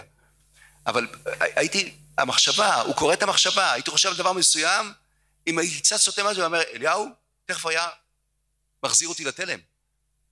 אחר כך במו עיניי ראיתי את המופת הנפלא הזה שהוא היה עושה שלוקח בקבוק ערק ומוזג ל-20 אנשים, בקבוק ערק איילות קטן, 600 cc, 700 cc, כמה, כמה זה? ומוזג לו עוד כוס ועוד כוס ועוד כוס, עיניי ראו ולא זר. לראות מה זה, אתה רואה מופת בעיניך של, של, של, של, של נס השמן, קוראים את זה, נס השמן של אלישע. אז אתם קוראים את זה בספרים היום, אבל אין אדומה שמיעה לראייה. הייתי בשוק, מה יש כאלה דברים גם בדורנו? שאדם יכול לעשות כזה דבר? או, ש, ש, שהייתי זוכר לנסוע איתו וזכיתי פעם אחת שנסעתי בלי, לא מילאתי דלק, אף פעם, זה אתה יכול להגיד, אה, אה, תגיד ש, ש, שהיה דלק, זה היה אוטו חדש, המד היה מקולקל, תמיד מי שרוצה לחלוק ולעשות ליצנות, אז הוא תמיד יכול למצוא משהו, ככה זה, כוח הבחירה הוא עצום. אדם יכול לעשות ליצנות מכל דבר, אבל כשנסעתי מנתיבות למירון בחזרה בלי למלא אף פעם דלק, וכשיצאתי עם אפס, זה מי יכול להגיד על זה? זה רבי אליהו אלפסי, עליו השלום, הוא בשמיים היום, והבבא סאלי היו שם, אף אחד לא היה אחר. והם יודעים שלא מילאתי שום טיפה דלק. אז, אז רואי, אז לפחות אמרתי, רגע, רגע, יש, אני נכנס פה לעולם חדש. לעולם כזה שיש פה אנשים שהטבע אצלהם הוא, הוא, הוא, הוא, הוא, הוא יכולים להשתמש בו, יכולים ללוש אותו, להעלות אותו, להוריד אותו. לראות דבר כזה בעיניים זה חינוך עצום. אבל מאז שהבבא סאלי נפטר, המשכתי לחפש. איפה האנשים האלה? אנחנו יודעים שבכל דור ודור יש צדיקים, מתפעלים מהם, קוראים עליהם, יודעים זה, אבל איפה הם? איפה הם? פרשת כי תבוא, רבי יעקב בעל הטורים מביא את, את, את, את הדיבור המפורסם של כי תבוא אל הארץ. אז הוא אומר כי בגימטריה שלושים, תבוא אותיות אבות אל הארץ, לומר לך שאין דור, אני מצטט את הבעל הטורים, רבנו יעקב בעל הטורים ראשון, רוח הקודש, אמת לאמיתה של תורה. לומד לך שאין דור שאין בארץ ישראל לפחות שלושים צדיקים שהם כמו האבות הקדושים אברהם, יצחק ויעקב. זה בעל הטורים, זה לא עכשיו תגיד חסידות, בעל שם טוב, אני יודע ככה, בעל הטורים זה, זה, זה תורת אמת של כלל ישראל. איפה הם? איפה הם רבותיי? איפה, איפה הצדיקים האלה שהם, שהם כמו האבות הקדושים? בשלושים כאלה בארץ ישראל, איפה הם? הם נסתרים מאוד, כיוון שכידוע, השם יודע, הבעל דבר יודע, שברגע שאדם זוכה להתקרב לכזה צדיק, אז הוא כבר עשה את קפיצת החיים שלו. אז אפילו, מה זה, איך, איך בליקוטי ההלכות מובא שם, רבנו מביא את זה, שרשע וטוב לו, זה רשע שזכה להתקרב לצדיק האמת. יישר כוח לרב אליהו מירב, הוא לא הולך לשום מקום, כבר הרב חוזר אלינו, עניינים דחופים. אנחנו מקדמים בברכה את הרב משה צנני, והרב דיבר על העניין של לחפש את הצדיק. האמת היא שלא תכננתי לדבר, אבל אני חייב לספר משהו על לחפש את הצדיק. לי קוראים יצחק גבאי, והשם זיכה אותי למסור הרצאות בכל מיני מקומות בארץ, קירוב לבבות, קירוב רחוקים. בכבוד הרב. בכבוד הרב. נספר סיפור על העניין של החיפוש של הצדיק, ואז... אה,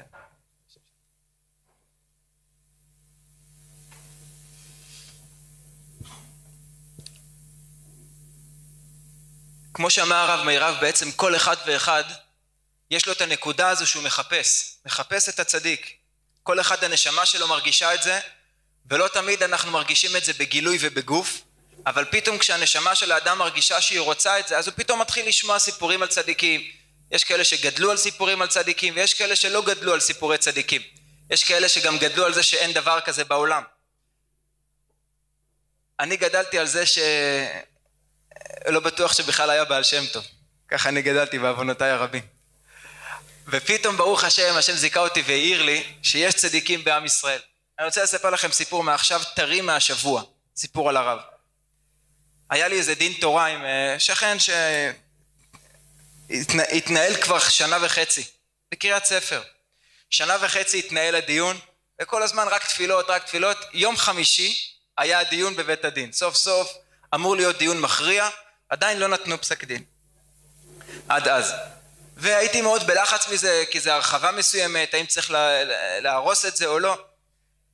מוצא שבת היה כנס בבני ברק למעלה משלושת אלפים איש עם מורנו הרב בבני ברק ורקדתי על הבמה ביחד עם הרב ועם שאר התלמידים, אני, השם זיכה אותי ככה אז הרגשתי כזה קרוב לרב והרב כל הזמן מדבר על זה שלהיות קרוב בתוך הארבע אמות של הצדיק כל מי שנמצא כאן זה בתוך הארבע אמות בעזרת השם תכף הרב יגיע אז זה ישועות מאוד גדולות וזה כפרת עוונות כמו כהן גדול ביום הכיפורים.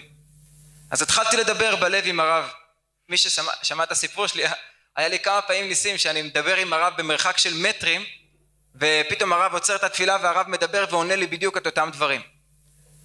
אז uh, התחלתי ככה להתפלל על זה, שבעזרת השם שיהיה בשורות טובות מהדין תורה. עכשיו שאני אגיד לכם בדרך הטבע, מה שהיה אמור להיות זה שהם מחייבים אותי להרוס את ההרחבה הזו.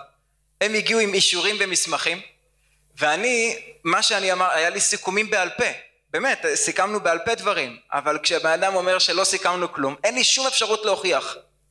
הדיון שהיה ביום חמישי בלילה, אני אומר לכם, דין תורה הסתיים במשפט כזה שאני אמרתי, אז הפסדתי כי אני לא עורך דין, כי לא חתמתי על דברים.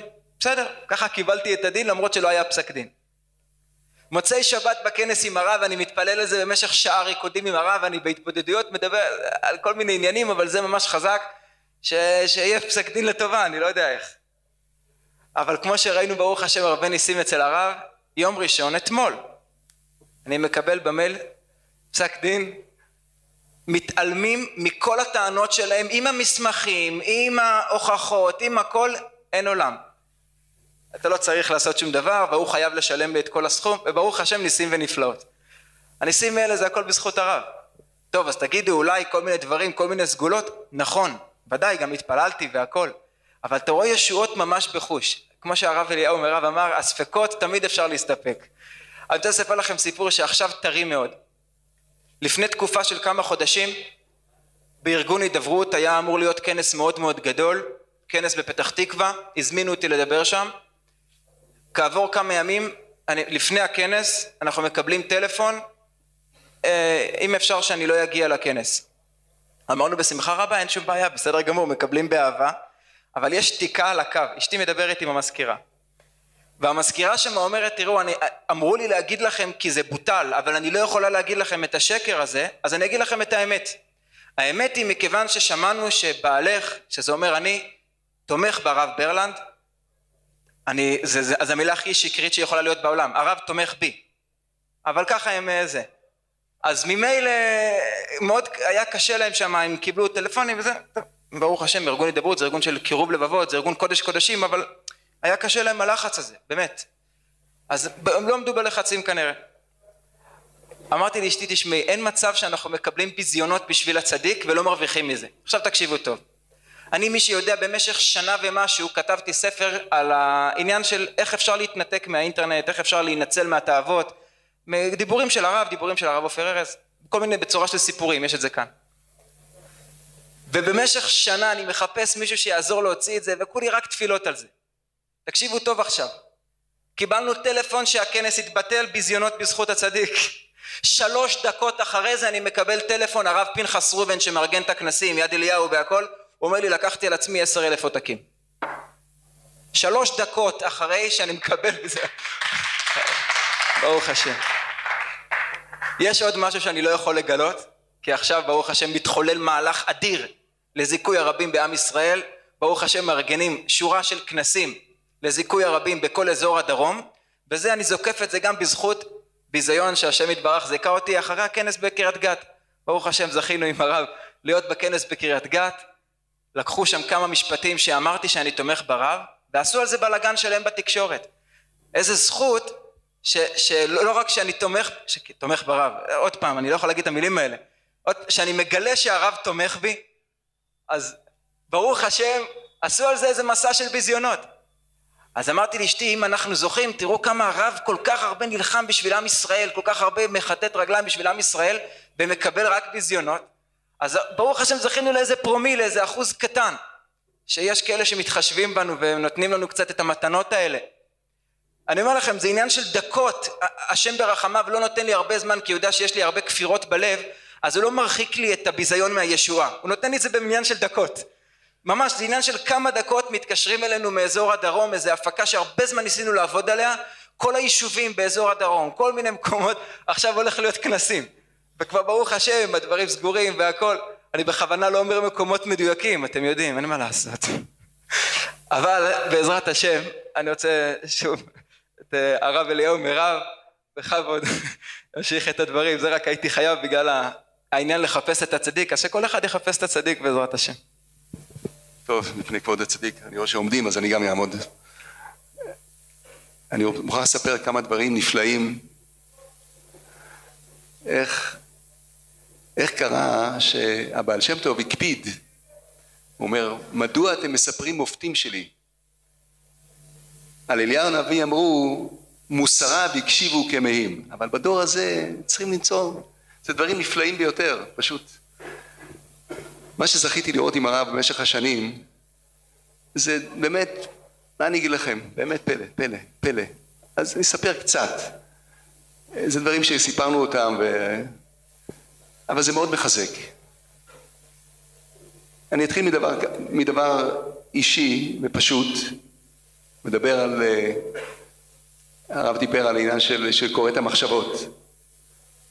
זה, זה דבר רגיל, אתה יודע, כשהייתי זוכה לקחת את הרב קצת אה, בארץ לנסיעות, אז הייתי חושב, הוא היה מדבר, כאילו זה היה דו-שיח. אני חושב על משהו, שואל שאלה, הוא עונה תשובה. שואל שאלה, הוא עונה תשובה. הוא מסביר את זה, אחר כך אני שואל, אבל רגע, מה עם זה? אז הוא ישר עונה לך, כאילו ממש דו-שיח מדהים של זה וזה, הרבה יכולים לספר את זה, זה פלא פלאות. פלא פלאות. סיפרתי בכנס בבני ברק על אה, השידור של הבן שלי, אחד הבנים שלי, איך ה... פשוט היה פה איזה במאי נפלא שבתזמון מדויק הביא את כל הנפשות הפועלות, אף אחד לא ידע איך ומה, הכל בתורו, בא, אמר את התפקיד שלו והלך. באותו לילה גמרנו שידוך עם הבן שלי, שברוך השם כבר, יש לי כבר נינים ממנו ברוך השם, יש הוא כבר חיתן, חיתן את, ה, את, ה, את, ה, את הנכדים שלי, הוא חיתן ברוך השם, בני היקר. וזה היה שידוך שהוא רצה לגמור והוא גמר אותו באותו לילה, מוצאי שבת שהייתי פה בעמנואל ונסעתי מוצאי, אף אחד בעולם לא ידע, אני בעצמי לא ידעתי שאני נוסע עכשיו לשדך את הבן שלי, נסעתי לשמוע שיעור מהרב מוצאי שבת. אני מגיע, זה מגיע, פלוני מגיע, זה סיפור נפלא ביותר, לעשות ספר מהדבר הזה, איך שהוא הזמין את כל הנפשות הפועלות, כל אחד בתפקיד שלו, בזמן שלו, הגיע, עשה את חלקו, וברוך השם בשעה שתיים לפנות בוקר גמרתי שידוך, מה שלא חלמתי, זה, זה בסך הכל היה ילד בן, אה, עוד לא 17, הוא סגר את העניין הזה, כי האיש הוא לא נח ולא שקט עד שהוא גומר את מה שהוא רוצה לגמור. וזה מה שהוא עושה גם עכשיו. איך רבנו אמר, כשנותנים לי עוד מקום צר לעבור אני עובר, אבל כשחוסמים לי את כל הדרך אני מוכרח לקחת את הבן אדם. חס ושלום, אני לא רוצה לעורר דין על אף אחד. אבל בעניין הזה, מי שזוכר את כל העניין מה שקרה בעשרות השנים האחרונות, משחקים פה באש, באש, והכל באצטלה של, של, של צדקות ובאצטלה של, של שמירת מצוות. רבנו צריך את העוזרים האלה, רבנו הקדוש, שמאמינים ברבנו הקדוש, יחיד יחידי הדורות, הוא צריך את השועלים הקטנים האלה שישמרו עליו מכל מיני אנשים שרוצים לקחת לו את הכתר. אתם מבינים, אתם מבינים איזה הזוי על הזוי על הזוי. איפה זה הולך? אני מוכרח לספר לכם איזה מעשה נפלא. היה יהודי אחד בקנדה. תראו מה זה איך, איך הצדיק נכנס לאדם עוד כשהוא בעצמו לא יודע מה הוא חושב זה כתוב, כתוב בהקדמת עץ חיים מי שראה שם הקדמת עץ חיים הוא רואה שהוא יודע את מחשבות האדם לפני שחשב אותם ככה רב חיים ויטל מביא שם מי שמדבר בשפחי האריזה אספר דבר שקרה בדורנו כאן בעיניי. היה יהודי אחד שהיה מקושר לישיבה שוב בנים תורם. יום אחד הוא מתקשר ואומר המס ההכנסה האמריקאי הוא אה, דורש ממני תשלום של שלוש מיליון דולר מה שאני, הוא בעל עסקים גדול וזה, הוא דורש ממנו תשלום כזה, אבל הוא אומר, אני ממש לא חייב, אני אדם מסודר, אני לא, זה, זה, זה, זה קנס, אני לא יכול לעמוד בזה, תגיד לרב. נכנסתי לרב, אמרתי, פלוני בן פלוני הזה מזה, המס הכנסה האמריקאי מבקש ממנו את הסכום הזה והזה. אומר לי הרב, שישלח שלושים אלף דולר פדיון, תוך שבועיים הוא מקבל מכתב מה-IRS הזה, המס הכנסה, שהכל בסדר עם התנצלות. אמרתי את הדברים האלה, אמרתי לו, שמע, ריימונד, קוראים לו ריימונד לאיש הזה, כך וכך המצב, הוא בשמחה, 30 אלף דולר, ולהציל לו שלושה מיליון דולר עם כל הבלגן, שלח את זה בשמחה. באמת, אחרי שבועיים הוא מספר בשמחה, מופה, אבל זה, זה עוד לא, תשמעו מה שפה קורה. תוך שבועיים הבן אדם מצלצל, הוא אומר, תשמע, בדיוק מה שהרב אמר, תודה רבה, תודה רבה, וזה, טוב, אני נכנס לרב, ואני בתמימותי, בהמה ויראה והכל, אומר, רב, הצלת לו שלוש מיליון דולר ושלושים אלף דולר, אתה יודע את המצב של הישיבה וזה. לא יכולת לבקש קצת יותר? כביכול, אני אומר, לא אמרתי בלשון הזאת, אמרתי רק שלושים אלף דולר, ככה, אני לא זוכר בדיוק לשון שאמרתי, אבל אמרתי, הרב, הצלת אותו בזה, ככה וזה. הוא אומר לי, אל תדאג, תוך חודש הוא שולח לנו ארבע מאות אלף דולר. תוך חודש הבן אדם שלח ארבע מאות אלף דולר. עכשיו תגידו לי ידידיי, זה עיניי ראו, אני, זה, זה, אני וחגי וג, אתם כולם יודעים מי זה חגי וג. מה תגידו על כזה דבר? הבן אדם בעצמו בטח לא חלם על הדבר הזה, הוא לא ידע מה זה. אז מה, מה הצדיקים פה פועלים?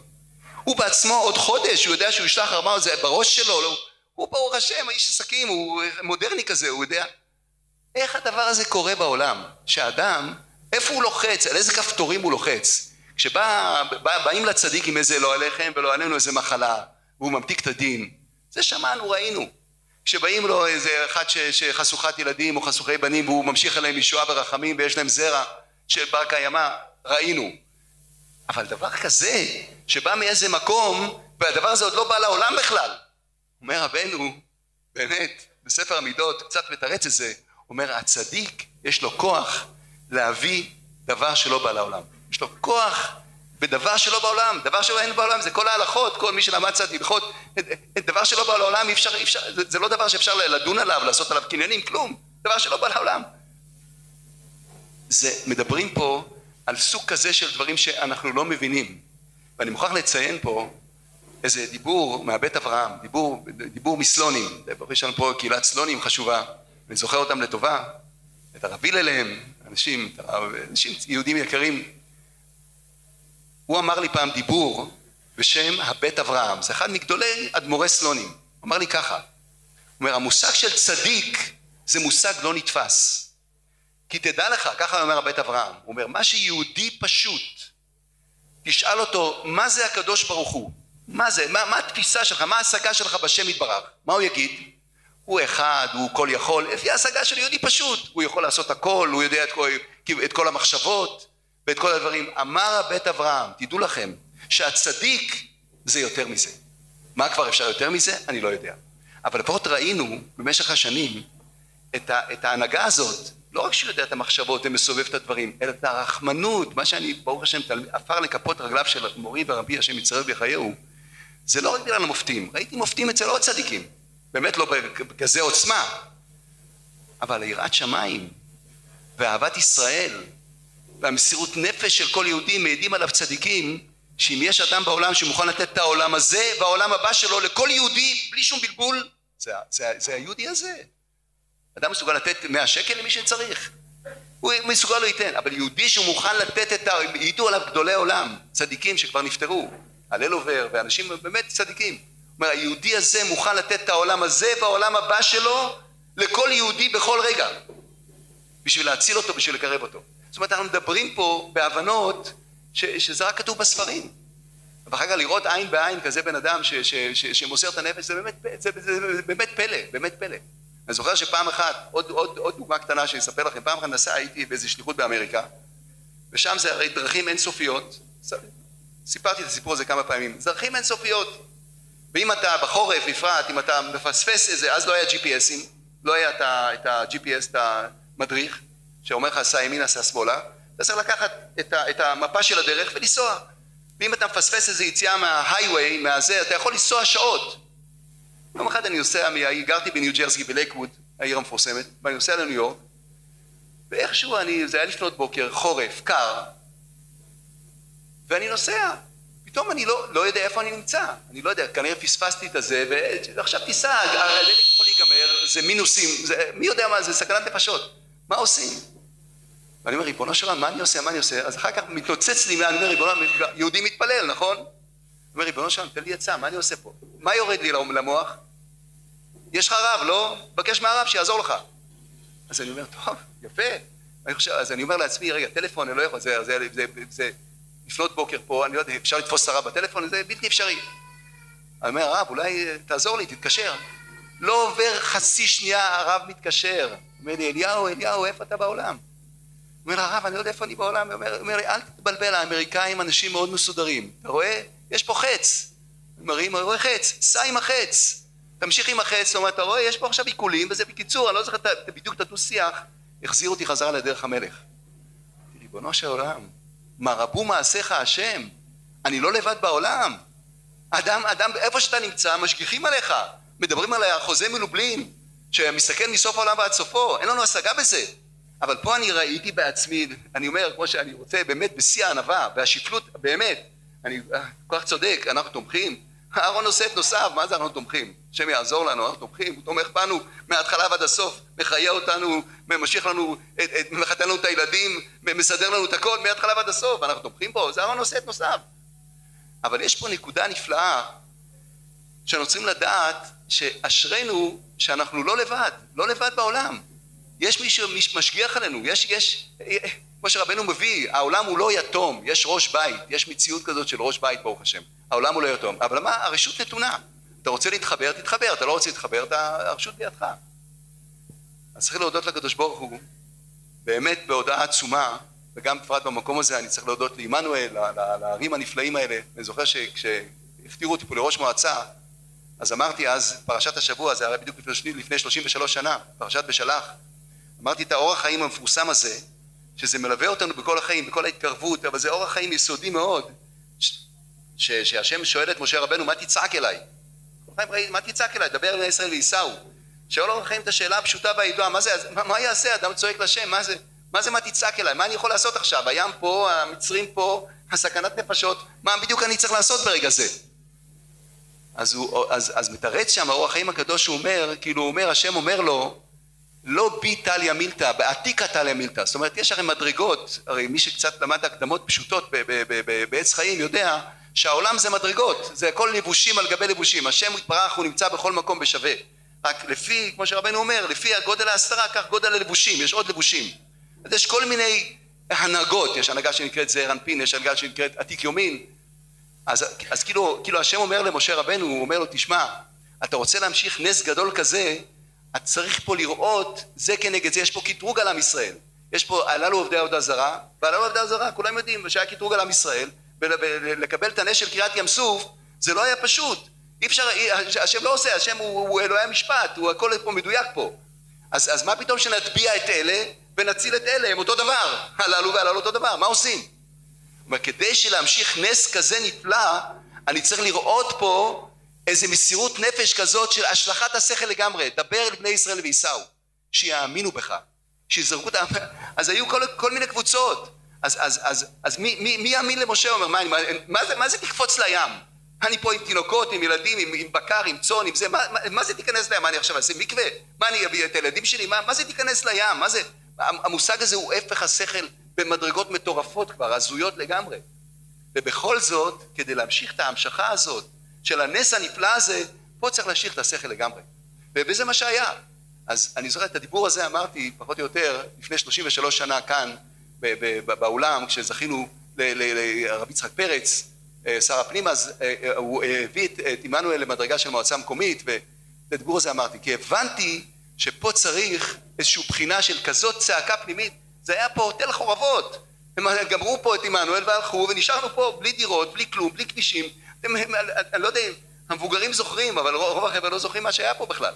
בלי מוסדות איך, איך עושים פה רק באמת אני חייב להגיד אודה השם בכל לבב בסוד ישרים ועדה שאתם פה בזה להודות לרבנו ומורנו השם ישמור אותו ויחיה אותו שליווה אותנו בכל מיני אני לא יכול לספר כי זה דברים מאוד אישיים וקשים הוא היה מופיע כל פעם שהיינו צריכים פה ישועה שהייתי נמצא במצב שאין כסף לשלם משכורות, אה, משרד הפנים, אה, מה אני עושה פה? מה, אני בכלל יודע לנהל עיר? מה, מה לי ולנהל עיר? אני בסך הכל בקושי יודע אה, צור, צורתא דשמטתא. מהכל אתה לוקח בן אדם, זאת אומרת, תהיה ראש מועצה. צריך ללמוד את זה. אחר כך הבנתי שזו חוכמה מאוד פשוטה, זה צריך להיות רק שכל ישר ומסירות נפש ואהבת ישראל והכל מסתדר. אבל זה בהתחלה לא ידעתי, חשבתי שזה חוכמות.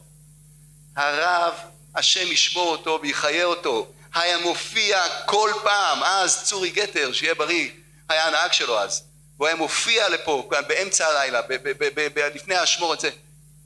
נותן את המילה, נותן את הדיבור, נותן את החיזוק, נותן את הכיוון, ואפשר להמשיך. אז איך אפשר לא להודות לכזה דבר? איך אפשר לא, לא להתפעל מכזה אור שמלווה אותך ומרחם עליך? אנחנו קטונו, אין לנו כוח להגיד מי הוא ומה הוא, באמת לא. במה עפר לכפות רגליו, אני לא יכול. אבל לפחות אני יודע, כאדם יהודי שמסתכל על יהודי, ורואה מה זה יהודי שזכה להיות, שאומרים לי אני ברסלבר, אני אומר אני רוצה להיות ברסלבר, אבל הכרתי ברסלבר אחד. בברסלבר אחד ודאי הכרתי. זה באמת, כל מה שרבנו אומר וכל מה שרבנו מדבר, אפשר לומר על, על, על הרב שליטה. אז נקווה בעזרת השם, מחכים לו שיבוא ונראה אותו בקרוב בעזרת השם, נשמח לקבל את פניו הקדושות, ובינתיים אולי רב משה תגיד לנו גם.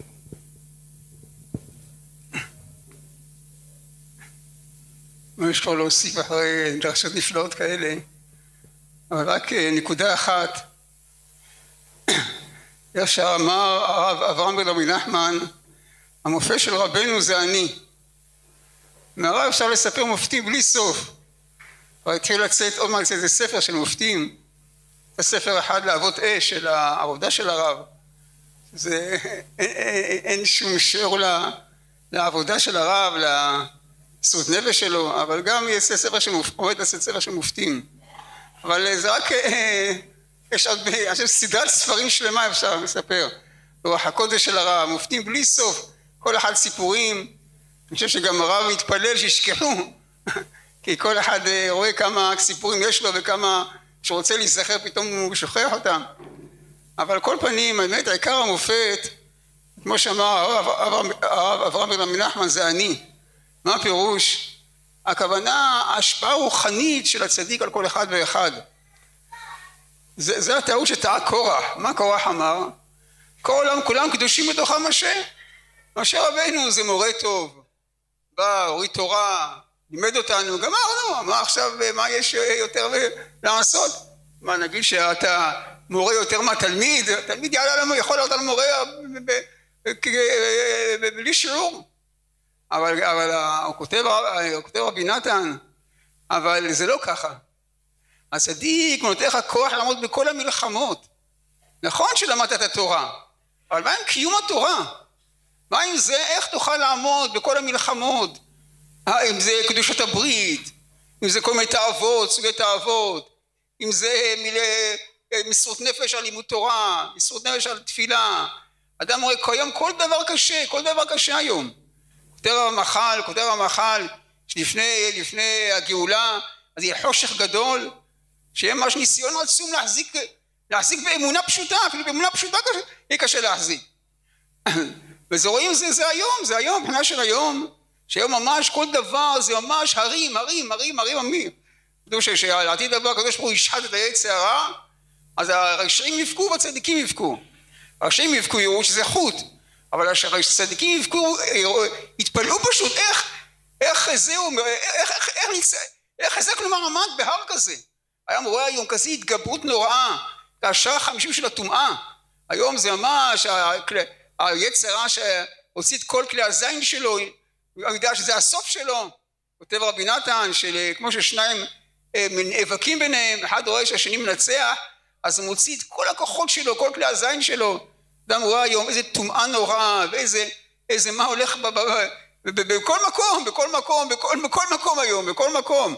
לא מדבר על הרחוקים, אני מדבר, היינו קרובים, אפילו דתיים, חרדים, הכל מלא, הכל מלא שחם של הטומאה. היצרה נכנס בכל מקום, בכל מקום, בכל מקום. אבל מי, מי ייתן לבן צריך להילחם, מלחמה נוראה, מלחמה נוראה, להחזיק מעמד, להיות יהודי פשוט, יהודי פשוט להיות, זה, כותב הרי מרוז'ין, אפילו לפני ביאת המשיח, אפילו יהודי פשוט יקרא צדק וצדיק בשמיים. למה? כי יהודי פשוט יהיה חידוש. יהודי שלא שומע, לא עושה עבירות, שרחוק מהעבירות, שירא שמיים באמת. אז זהו, אז, אז זהו מה שכותב רבי נתן. זה הטעות של קורח. או של קורח, נכון, אתה למדת, למדת את התורה, גם לימוד תורה, משה רבנו זה אין סוף, אין סוף יותר. אבל נניח כמו שאתה אומר, אבל מה ממלחמה עם היצר הרע? מה מלחמה עם הסטרא אחרא? יש מלחמה נוראה נוראה. כמו שהם רואים את המלחמה, רק רואים את המלחמה בחיצוניות. אה, איך הרב, אה, כל, כל המאזין עושה, נוסע מקום מקום, לעשות בישיבת כל הארץ, ואיזה גלים יש כנגדו, איזה גלים יש כנגדו. רואים שלפני ביאת המשיח, אז יהיה שני מחנות, כמו שהיה ברור לפני, בקריאת, לפני יציאת מצרים. מאמין בצדיק ומי לא מאמין בצדיק. רואים כל מקום זה ממש, ממש איזה מלחמה יש. אבל הוא קשה, כתוב, קשה ענות וכן ירבה וכן יפרוץ. אבל זה העניין של הצדיק. אני נותן לך כוח לעמוד בכל המלחמות. נותן לך רוח, את רוח השם בתוכך. משפיע עליך מהאור שלו. האור של הצדיק זה אור כזה, זה אור הגנוז. שעה חמישים, זה יחידה, חיה, יחידה. נותן לך כוח להרגיש את השם בכל מצב. תדעו לכם שאין דבר יותר גדול מזה. זה, זה המופת הכי גדול, זה המתנה הכי גדולה. עדיין לפעמים שואל, מה קיבלתי אצל הצדיק? אני רואה שעדיין תאוות מתגברות עליי, עדיין אני רחוק מקדושה כמו שחשבתי שאני אזכה. אתה, תדע לך, אתה לא יודע, יש לך לב אחר לגמרי. אדם קורב לצדיק, הלב שלו בוער לשם כל הזמן. הלב שלו נכון שהוא הוא במלחמה, והתאוות מתגברים עליו, יש לו ירידות, אבל זה לא ירידות, זה לא ירידת תכלית העלייה. אבל זה שהלב, יש לך לב, אתה יודע, זה מתנה שאין כדוגמתה. וזה רק מי שקורב לצדיק זוכה לדבר הזה. הצדיק, זה, הצדיק הוא כולו לב, כולו לב. כמו שרבנו אומר, הלב הכוסף למעיין. והצדיק הוא כזה טוב עין, שמחלק את הלב הזה לכל אחד. לכן רבנו אמר, ישאלו אתכם מה קיבלתם? תגידו רוח. מה זה הרוח הזאת? הרוח הזאת זה רוח השם בתוך האדם, זה כיסופים, זה אהבת השם. אני יכול להעיד ממש, אני מאז שהכרתי את הרב, אה, לפני ארבעים שנה, עברתי המון המון המון, אני יודע שבלי הרב לא הייתי עובר בשום פנים ואופן, לא הייתי מחזיק עוד בשום פנים ואופן. הסטרה רחם מתגבר, הסטרה מתגבר בלי סוף, בלי סוף, בלי סוף, בלי סוף. זה כל יום מלחמה חדשה, כל יום בעל תשובה, זה לא שהוא חזר בתשובה לפני ארבעים שנה, זה טעות. בעל תשובה זה היום, היום, היום יש לך את המלחמה של היום. המלחמה היא קשה, המלחמה זה ממש מלחמה, ממש מלחמה, כל, כל, כמו שכל אחד יודע, כל אחד מרגיש את זה. אני אומר, מרגיש, זה של הצדיק. הצדיק זה ממש, הוא רואה את השם עין בעין, הוא, יש לו, יש לו, הוא זוכה ממש, הרב העיד על עצמו, שמע, זה עמד על דעתו, שם הוויה לא זז מהעיניים שלו. תראו לכם, תראו לכם נשמה כזאת, יהודי כזה, שהשם הוויה לא זז מהעיניים שלו. כל רגע, כל דיבור, בדיוק אמר עכשיו, היה איזה שיעור שסיפרו לי, שזהו, היה אתמול שיעור, אז הוא אמר שאדם כל דיבור צריך לעשות שם הוויה מול העיניים שלו. הלוא צדיק כזה שרואה את השם עין בעין כל רגע ורגע, כל רגע ורגע. וזה צריך את הכיסופים שלנו. איך להתקרב לשם באמת? איך לזכות לראות השם עין בעין כל רגע? כמו שעם ישראל זכו ביציאת מצרים, שמשה רבנו העלה אותם, ירים אותם, ירים אותם. עד שסיכה את כולם למתן תורה. מה זה מתן תורה? שהשם מתגלה, ממש כל אחד שמע את עשרת הדיברות, והשם מתגלה לכל אחד, לכל אחד. ומה היו עם ישראל? היו בשפל המדרגה. היו עבדים, בלי מוח, בלי לב, בלי כלום, אפס אפסים גמור. ואיפה רבן משה רבנו העלה אותם? ואין, ואין לי שום ספק שזה, שזה ה, זה רבנו הקדוש ושמעובר ברב, הרב יכול להרים כל אחד לכל המדרגות שבעולם. אתם כזה טוב עין, כזה אהבת ישראל, כמו שמענו כאן מרב אליהו מרב, ממש איך הוא, איזה שהוא מוכן ממש להשליך על עצמו כאסקופה לפני כל אחד ואחד, למסור הנפש של כל אחד ואחד, אבל העיקר למסור את הנפש, להרים אותו, להרים אותו. אתם רואים היום אברכים ששוקדים על התורה יומם ולילה, כאלו יראי שמיים, כאלו ממש שיכולים להיות דוגמה לכל חרדי הכי חרדי, הכי מהבית הכי הכי טוב. והרווחים האלה היו בשאול תחתיות לפני עשרים שנה, חמש עשרה שנה, בשאול תחתיות ממש. כל אחד ממש היה איפה שהיה בשתיות שלו, באבלי העולם הזה שלו, בשאול תחתיות ממש. והיום ממש כזה דבקות, כזה אהבת השם, כאלה כיסופים, כאלה כיסופים. מאיפה זה בא? מאיפה זה בא? זה הצדיק האמת, שהוא מרים כל אחד, איך רבנו אמר? אני יכול לעשות גוטריות כמוני ממש, להיות כמוני ממש. הרב אמר זה פשוטו, ממש, שהצדיק ממש יכול להרים כל אחד להיות כמו ממש. וזה ברוך השם, אה, זהו כמו ש... רק נסיים בנקודה הזאת שמה היום רואים את הרב, את ה... איך, איך, איך כולם, איך כולם ממש אה, נסחפים אחריו, וזה המלחמה, זה קרה מלחמה עליו, שזה המלחמה שהוא מחזיר בישיבת כל עם ישראל, כל אחד הנשמה פשוט רק, רק שומע את השם של הצדיק, על המקום נדבק, על המקום, אם זו נשמה יהודית, נשמה, נשמה קדושה, על המקום היא רצה רצה לצדיק. והצדיק זה להבה כזאת, שום דבר לא יעזור. כמו שאמרנו, כמה שההתנגדות הגדולה, כאשר ירבה כאשר יענו הרבה בכם לפרוץ. זה הבחינה של יוסף הצדיק, שזה ה, זה, ה, זה הנר השלוש עשרה, הנר השמיני. הנר השמיני זה נוצר, נוצר איזה רצון וכיסופים. יש שבעה נרות כנגד יעקב אבינו, הנר השמיני של חנוכה, יוסף הצדיק זה להבה. זה להבה כזאת שאף אחד לא יעזור לו, הוא יחזיר לתשובה את כל, את כל, את כל, את כל נשמות ישראל, יביא אותנו לזכות לאור השם, לבית המקדש, לכל הטוב שהשם מכין לעם ישראל. זאת רבנו. מי שבנה את השמון הוא זכה למלכות בארבע דורות. יהוד זכה חמש דורות ועמרי שבנה את השומרון אז בשביל שבנה את השומרון אז עמרי אחאב יורם בן אחאב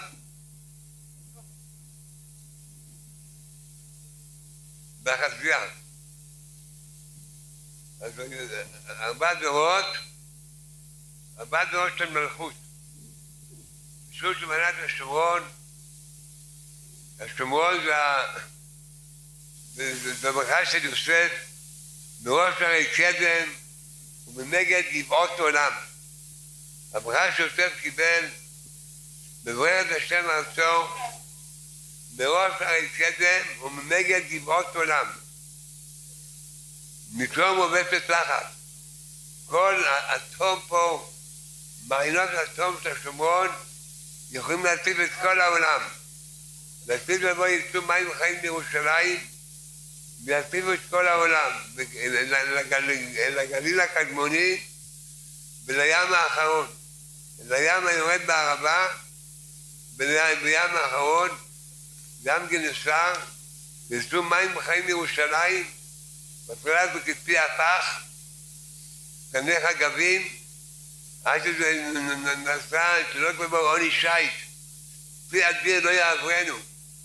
השם יהיו כאלה מים חיים, פסקי הדין לא יעברנו. אונייה שלוקח 12 חודש למנות את החול. אלפי האלמוגים היו קרים אותם על זה שממלאים 6,000 אנשים 12 חודש, או 12 אלף אנשים 6 חודשים.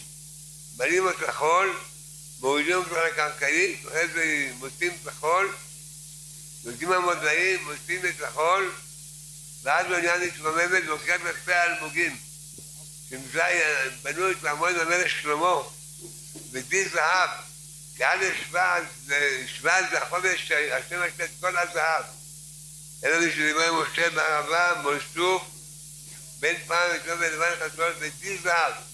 כל הזהב של העולם נשפע בחודש שבט. משום שמו בנה את בית המקדש, זו חסד אברהם במעיין ג' הים פלט את כל הזהב. הים פלט את כל הזהב, וכך יהיה לעתיד לבוא, וזה שהוא ממלא את בית המקדש. הפרול זהב לא. שלמה ידע למקד את השמש, למקד את קרני השמש, כי קרני השמש הופכות. אם אפילו למקד אותם, הם הופכות את העפר לזהב. כי הזהב זה 26, שם הוויה. הזהב זה שם הוויה, למה זה שם הוויה? יש לו 26 אלקטרונים, פרוטונים. והזהב יש לו 79 פרוטונים. אז צריכים להוסיף 53. היו אנשים באים, היה משרד הביטחון, הוא צוחק מזה, רבנו מחייב, שצוחק מזה לפני אלף שנה, בשנת 1200, זה לפני 700 שנה, יום 2,000, 800 שנה, כן, 1200 היה. אז לעשות סוג מכל האלכימיה, ואנשים איך לחבור נחושת לזהב, וברזל לזהב, והיו רוקחים את זה, ועם שמות, ונחשים, שמות טומאה, והיה מסתורות של משפחות, מסתורות שיש להן מין לחש מיוחד, על קמע מיוחד, על, קלף מצבי, איזה אותיות מסוימות שמאומרים אותן, אז הופכים את הנחושת לזהב, והפכו זהב לא, באמת, שלמה הפך את הפך לזהב כפשוטו.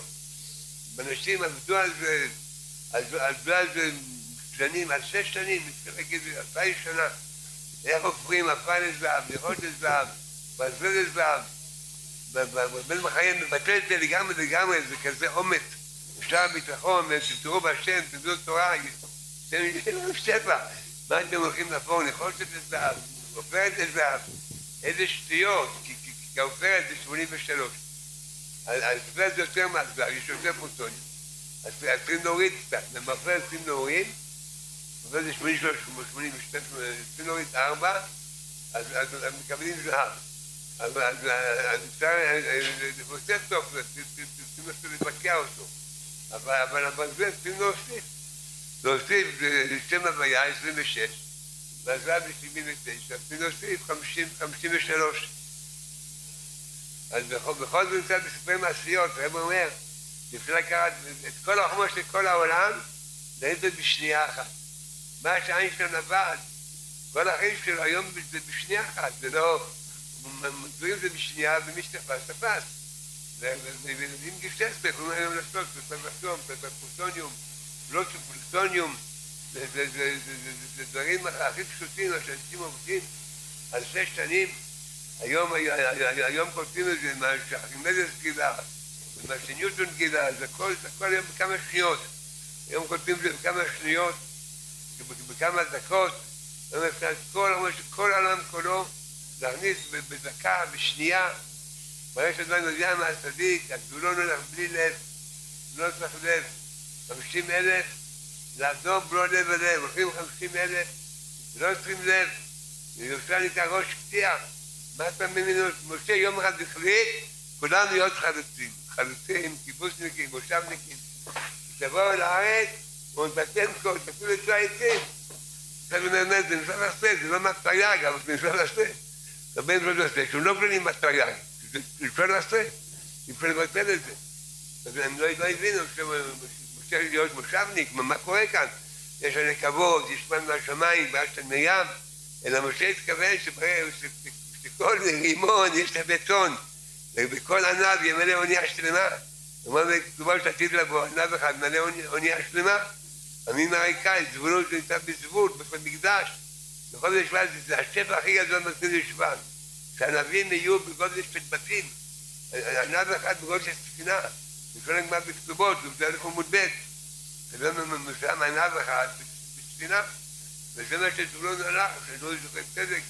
כי זבולון נקרא בזבול, כי יש, בילון זה הראשון, זה השיח.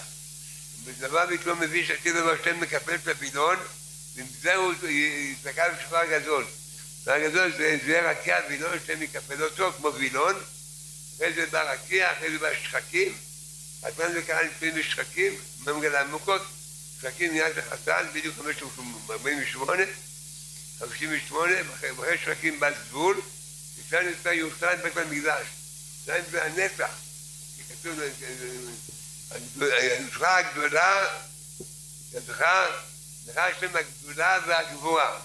אז הגדולה, אומרים בקריאת ים, הגמרא אומרת בנוסחה של עמוד א', ברכות בקריאת ים סוף.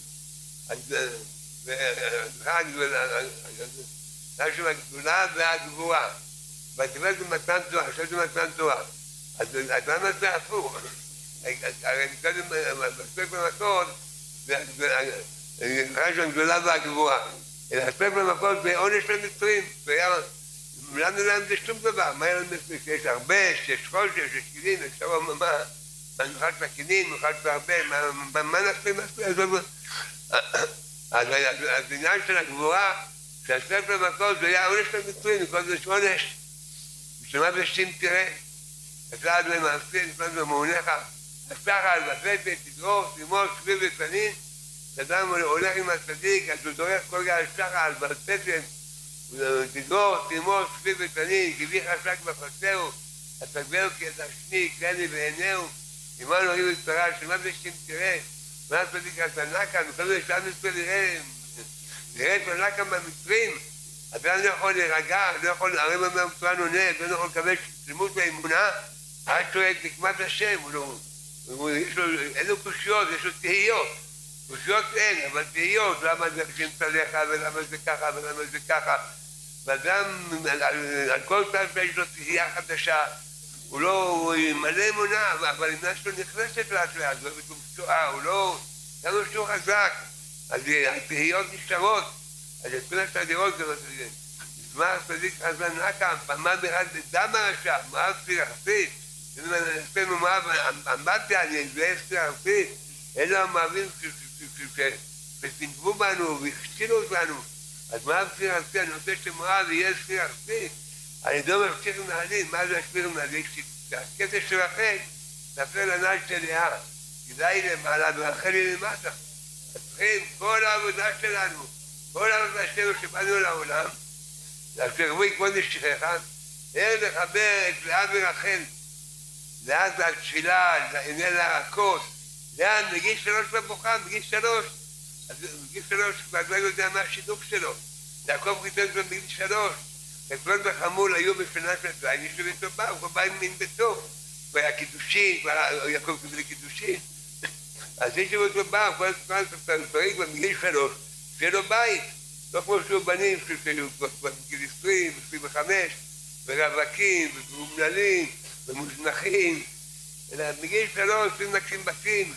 מישהו ביתו באו, ואמר שגדול כל אחד בא עם ביתו, לא ידעו שום עירוב, שום מחשבה, יודע, בת זוגי, זו אשתי, לא עובר ברחוב, הוא רואה איזה תקיפות, הוא חושב שכל אולי תהיה פעם איזה אשתו.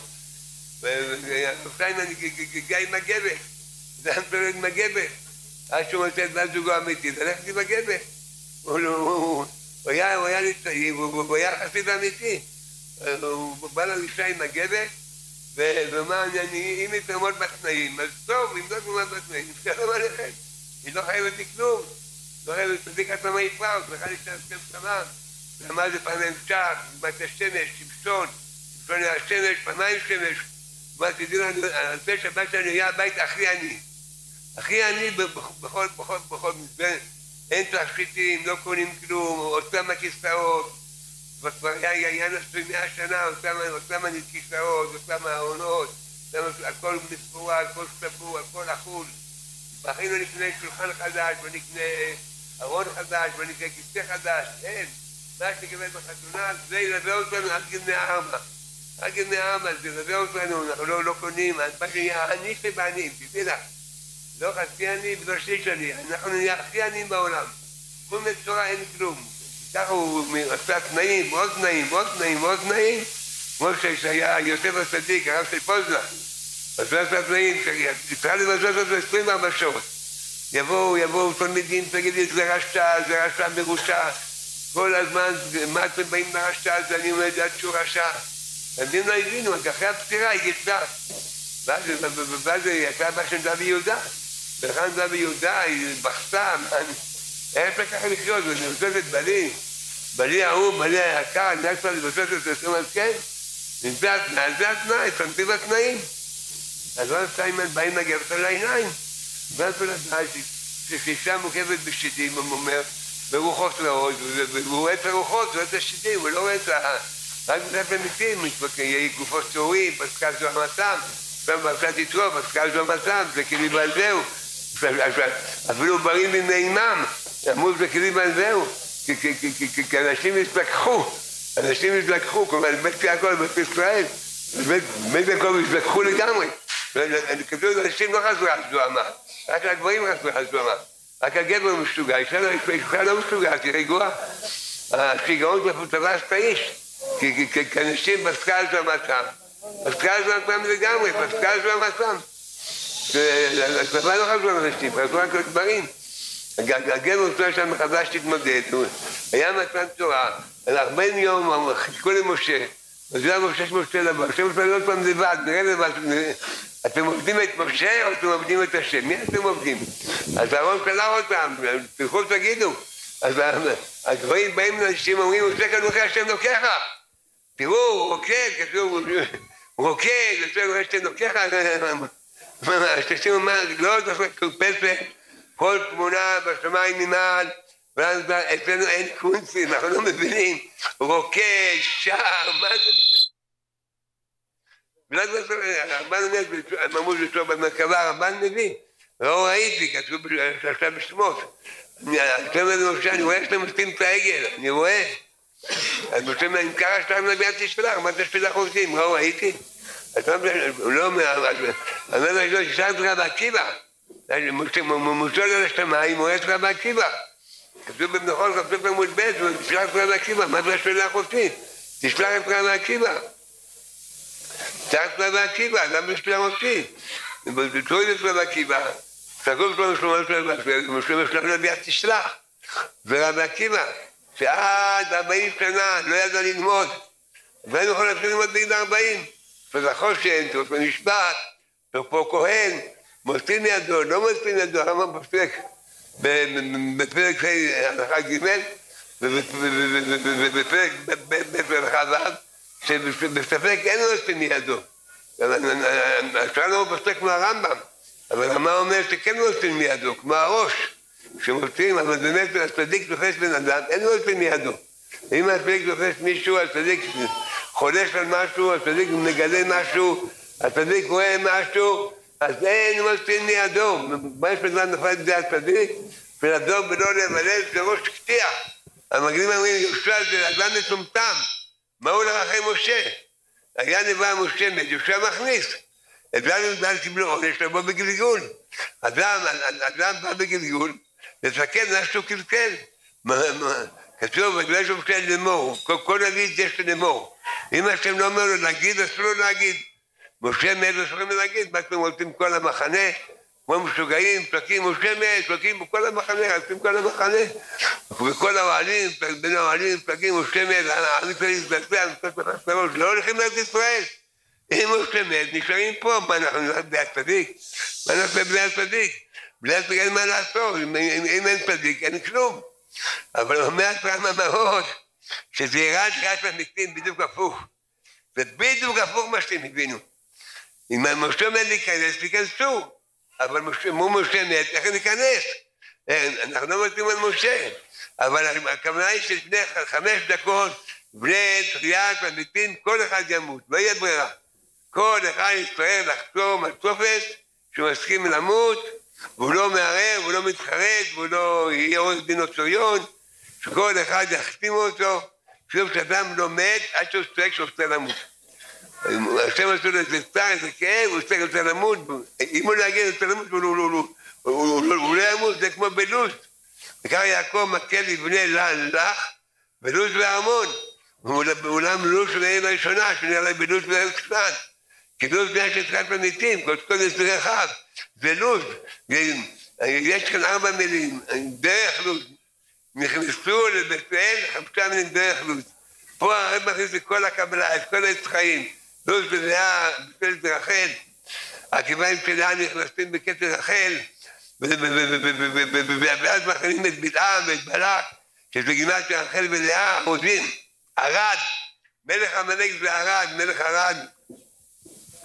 מלך ערד ומלך עמלק, ערד וערוד, הערוזים שהוא במדבר, ראיתי נחש כמו אלפיים, עשה ערוד, אדם בא לעולם, לבשל לזבח את הערוד, מהקדמות של בלעם נהיה ערוזים, שוב שמעשרות והרשעים נהיה נחשים.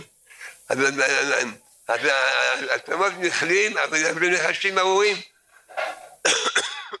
כל נחש נקרא ארון. כל נחש נקרא ארון.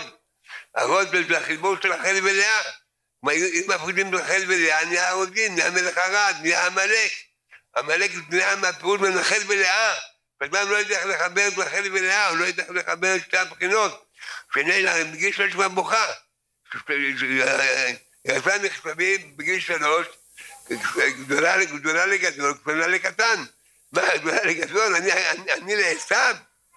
אז היא כבר מתחילה לבכות בגיל שלוש, היא לא, היא לא, היא לא, היא לא צריכה לבכות שנייה אחת, רק בוכה, עולה פרשת דרכים, מה, מה נתת לסף, שודד בנקים, רוצח אנשים, אז בתי עשירים, שודד כספות, מה, יעקב יושב, ישתה יושב אוהלים, היא רק בוכה, היא לא מצליחה יושבים על השעות היא בוכה.